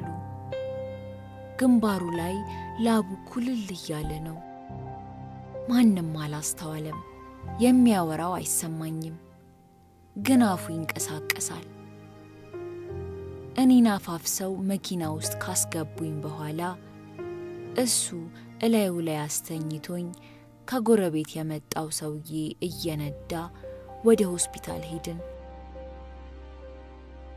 መርዶ ነጋሪዎቹ ወደ ቤት ተመለሱ። እኔ እኮ ደህና ነኝ፣ ነቅቻለሁ እኮ እለዋለሁ እየደጋገምኩ ባለኝ አቅም። የእሱ ሁኔታ አስጨንቆኝ አፉ ይንቀሳቀሳል እኮ ግን ቃል አይወጣውም። ሆስፒታል እንደደረስን ያስመልሰው ጀመር። የታመመው ማን እንደሆነ ግራ እስኪገባ እርሱ ብሶ ቁጭ አለ። በላይ በላዩ እየተነፈሰ ማስመለስ ቀጠለ። ነፍሱ ካልወጣው ብላ እየታገለችው ነው የሚመስለው። ፊቱ ላይ የተገታተሩት ደም ስሮቹ ካጠመቀው ላብ ጋር ሲኦልን ያየ ነው የሚመስለው። እኔ ተወስጄ ግሉኮስ እየተሰጠኝ ዶክተሩ ስለ ራሴ እየጠየቀኝ ሁላ እኔ እሱ ምን ሆኖ እንደሆነ ነው የምጠይቀው። panic አድርጎ ነው ይሉኛል። እንዲህ የሚባል ነገር ስለመኖሩ ራሱ ዛሬ ነው የምሰማው።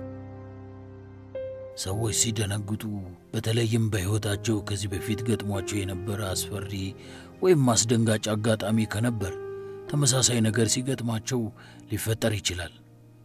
አንዳንድ ሰዎች ለምሳሌ መድረክ ላይ ሲወጡ ፓኒክ የሚያደርጉ አሉ። በተደጋጋሚ የሚያጠቃቸው ሰዎችም አሉ። ያለማቋረጥ እየጠየቅኩ ስላስቸገርኩት አብራራልኝ።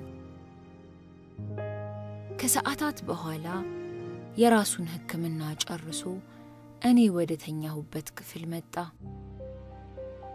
ፊቱ ጥላሸት መስሎ ከጣረ ሞት ጋር ሲታገል የቆየ አይነት መስሎ ከፍ ያለ ትከሻው ወርዶ ቀና ያለው አንገቱ አቀርቅሮ የእርሱ ባልሆነ አረማመድ የእርሱ ያልሆነ አመጣጥ መጥቶ አልጋው ጫፍ ላይ ተቀመጠ። የሆነ ነገር እንደተፈጠረ ቢገባኝም ምን ብዬ እንደምጠይቅ ግራ ገባኝ። ምግብ ስለማትበይ አቅም ጨርሰሽ ነው አሉኝ። አለኝ ሞገስ በራቀው ቀሰስተኛ ድምፅ ቀና ብሎ ሊያልቅ የደረሰውን ጉልኮስ እያየው። አዎ እኔ ደህና ነኝ። አንተ ደህና ሆንክ? ደህና ሆናለሁ። ትንሽ ማረፍ አለብኝ። ወንድምሽ እየመጣ ነው። ትንሽ እረፍት ካደረግሽ በኋላ ወደ ቤት ይወስድሻል። አንተስ? ወደ ቤት ልሂድ። በሚያቃጥል እጁ ፊቴን ነካካኝ። መልሶ ግሉኮስ ያልተደረገበት እጄን አንስቶ በመዳፉም ባይበሉባውም እያገላበጠ ሳመው። አይኖቼን ተራ በተራ ሳማቸው። በሹክሹክታ ነገር ምንም አትሁኝ አለኝ። መርበትበቱ በፍጹም የእርሱ አይደለም። ምንም አልሆንኩም እኮ ደህና ነኝ አልኩት። የሆነ የስንብት እንደሆነ ልቤ ነግሮኛል እኮ ላለማመን ታገልኩ እንጂ። ለደቂቃ ከንፈሬን ከሳመኝ በኋላ ተነስቶ አሁንም ድጋሚ ምንም እንዳትሆኝ ብሎኝ ወጣ። ልቤ ተከትሎት ሄደ። ስንብት እንደሆነ ነፍስ ያውቃለች። ሆድ ባሰኝ። ተከትየው ሂጄ አትሂድብኝ ማለት አማረኝ።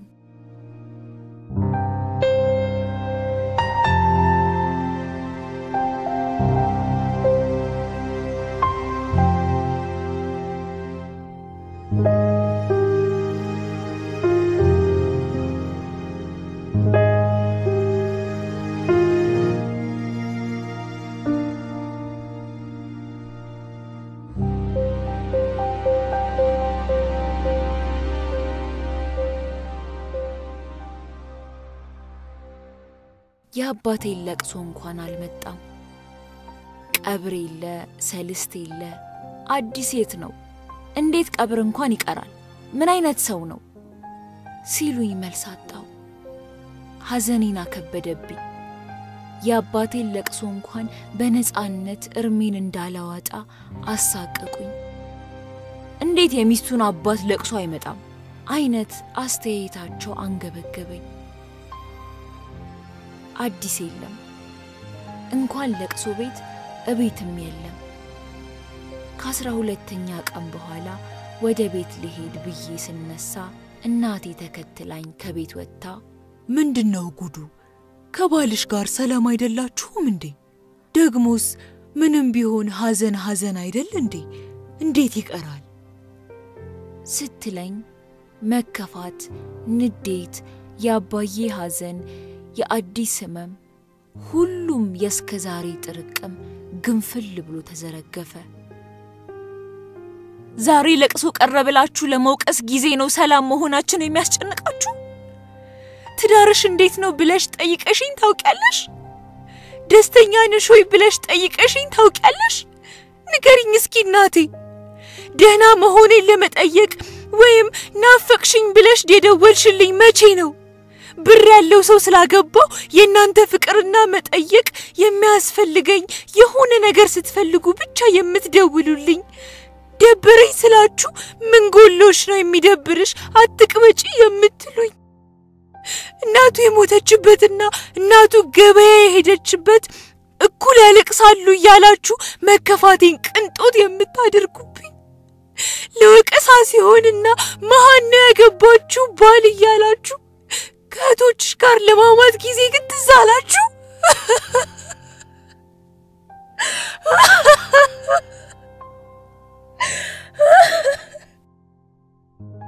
ደነገጠች። እንዲህ ተናግሬም ስለማላውቅ ዝም አለች። እንደ ልጅነቴ ውስጧ ክትት አድርጋ አቀፈችኝና ወይኔ ልጄ፣ እኔ ልብሰልሰልልሽ፣ እኔ እናትሽ ልብሰልሰልልሽ።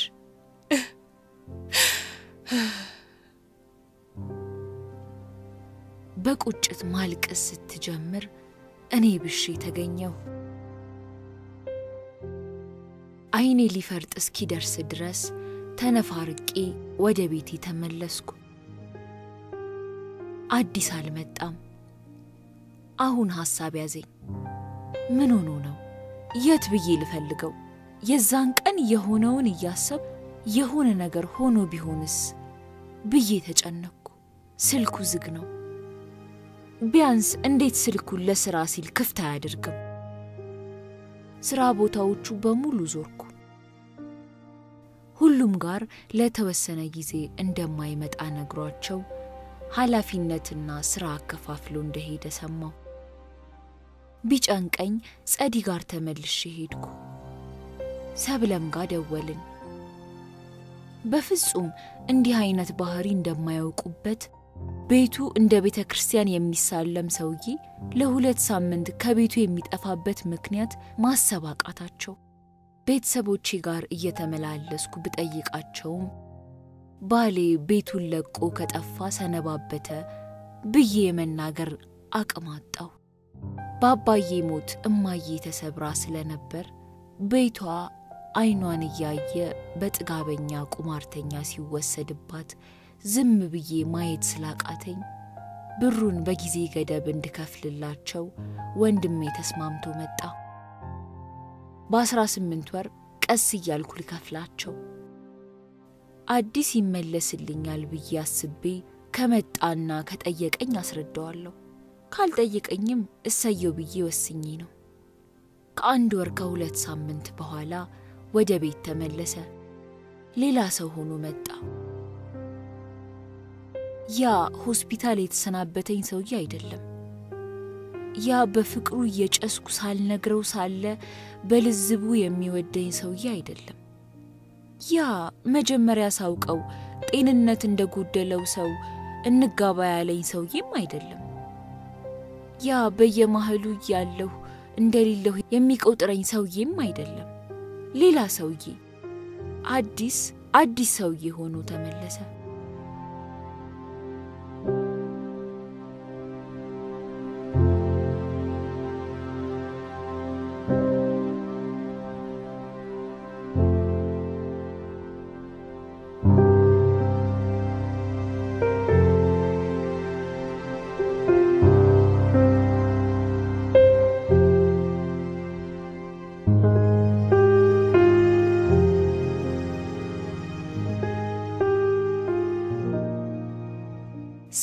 በደስታ ጦዤ ስጠመጠምበት ልክ ምንም እንዳልተፈጠረ ትናንት እዚሁ እንደነበረ ሁላ ጭራሽ ምን ሆነሻል በሚል ግራ መጋባት እንደ ዝም ብሎ አስተቃቀፍ ለቅፌ ምላሽ ሰጥቶ ከቅድሙ የቀጠለው ውሎ እንደሆነ ነገር ቤት ውስጥ ይንቀሳቀስ ጀመር።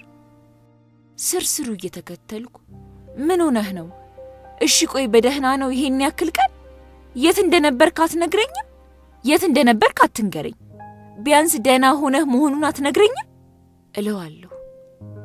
ደህና ነኝ አልኩሽ አይደል? ከራሴ ጋር ጊዜ መውሰድ ፈልጌ ነው። እና እንደዛ ብለህ አትናገርም? ትጨነቃለች ብለህ አታስብም?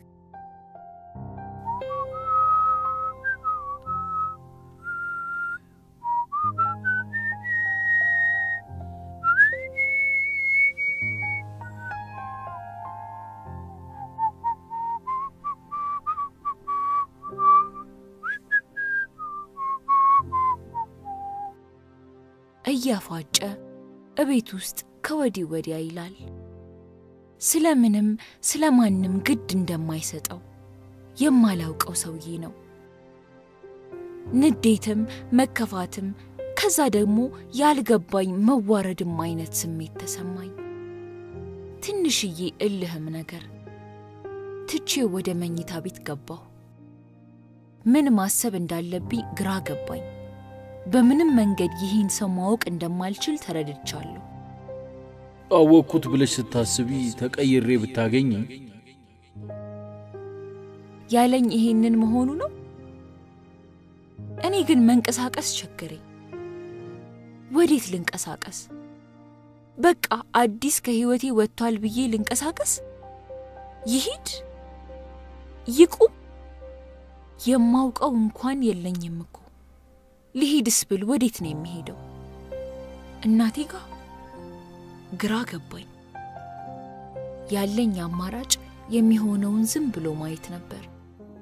የሚሆነው ግን ለመረዳት የቸገረ ነበር። ሌላኛውን መኝታ ቤት በቋሚነት እንድታሰናዳለት ለፀሐይ ትእዛዝ ሰጠ። ጠዋት ከእንቅልፉ ይነሳል። ልክ ምንም አይነት ነገር በመሃላችን እንደሌለ ያዘቦት ቃለ ምልልስ እናደርጋለን። ጓደኛውን ቻው እንደሚል አይነት ደህና ወይ? ብሎኝ ይወጣል። ምሳ ይመጣል። ስራ ቦታ ስለዋለው ውሎ ያወራል። ተመልሶ ይሄዳል። ማታ ይመጣል። አሁንም ልክ እንደ ትክክለኛ ነገር የቀን ውሎውን ወይም የሆኑ ፍልስፍናዎቹን አሊያም ስለገጠመው አዲስ ነገር ሲያወራ ይቆያል። እራቱን በልቶ ላይብረሪ ይሄዳል። ከዛ ወደ ራሱ መኝታ ቤት። እሺ እኔ ምን ላስብ? አብረንን ወይስ አብረን አይደለንም? ተጣልተናል ወይስ ሰላም ነን? ልክ ያልሆነ ነገር እየሰራ ያለው እሱ ሆኖ ለማውራትና ለመጠየቅ የምፈራው እኔ መሆኔ ምን ይሉታል? ከብዙ እንዲህ አይነት ልክ የሚመስሉ ልክ ያልሆኑ ቀናት በኋላ ላይብረሪ ተቀምጦ ላወራው ሄድኩኝ። እስከ መቼ ነው እንዲህ እንድንሆን ያሰብከው? ምንድን ነው? ምንድነን እኔ እናንተ? ምን ሆንን? ምን መሆን ነበረብን? የአኗኗር ዘይቤ ላይ አንዳንድ ለውጦች አድርጌያለሁ። አንዳንዱ ከአንቺ የአኗኗር ሁኔታ ጋር ላይሄድ ይችላል። ያው እንደምታውቂው እኔ ማንንም በማስገደድ አላምንም። የግድ መስማማት የለብሽም። በአዲስ ሰውነት ውስጥ የሆነ ጋጠወጥ ባለጌ ሰውዬ እያናገረኝ መሰለኝ። ምን ማለት ነው? ማለትማ ራሴ ላይ ለውጥ ማድረግ ያስፈልገኝ ነበር። ያንን ያደረግኩት። የሰው ልጅ በየሆነ ጊዜ ውስጥ ራሱን upgrade ማድረግ ያለበት አይመስልሽም? upgrade እስከ ገባኝ ድረስ መሻሻል ነው፣ ወደ መዝቀጥ አይደለም። ኑሮውን የሚኖረው ባለቤቱ አይደል? እየተሻለው ይሆን እየባሰበት የሚያውቀው ባለቤቱ ነው። እንደ ቁስ ተጠቃሚው check አድርጎ በልጽጓል ወይም ቆርቁዟል የሚል ሰርተፊኬት የምንጠብቀው እኮ ኑሯችን ሁሉ ለራሳችን ሳይሆን ለሰው ስለሆነ ነው። እኛ ለራሳችን የሚመቸንን ሳይሆን ሰዎች የሚመቻቸውን እኛን ነው የምንኖረው። ፍልስፍናህን ተወውና ማወቅ ያለብኝን ንገረኝ። ምንህ ነኝ? ምንስ ሆነን ነው እንድንኖር የምትፈልገው? ምርጫውን ለአንቺ ሰጥቼሻለሁ። ምንድን ነው ሆነሽ መኖር የምትፈልጊው? የራሴን ፍላጎት ደግሞ ነግርሻለሁ። አንድ መኝታ ቤት መተኛትም ምንም አይነት ስሜታዊ መነካካት አልፈልግም። ከዛ በተረፈ አብሮ መውጣት መግባቱ አይጎረብጠኝም። የግድ ካልተዋሰብን አብሬ መኖር አልፈልግም ካልሽ እሱም ምርጫው ያንቺ ነው። የሆነ ጋጠወጥ ሰውዬማ የአዲስን ሰውነት ተውሶ ነው እንጂ አዲስ እንደዚህ ባለጌ አይደለም።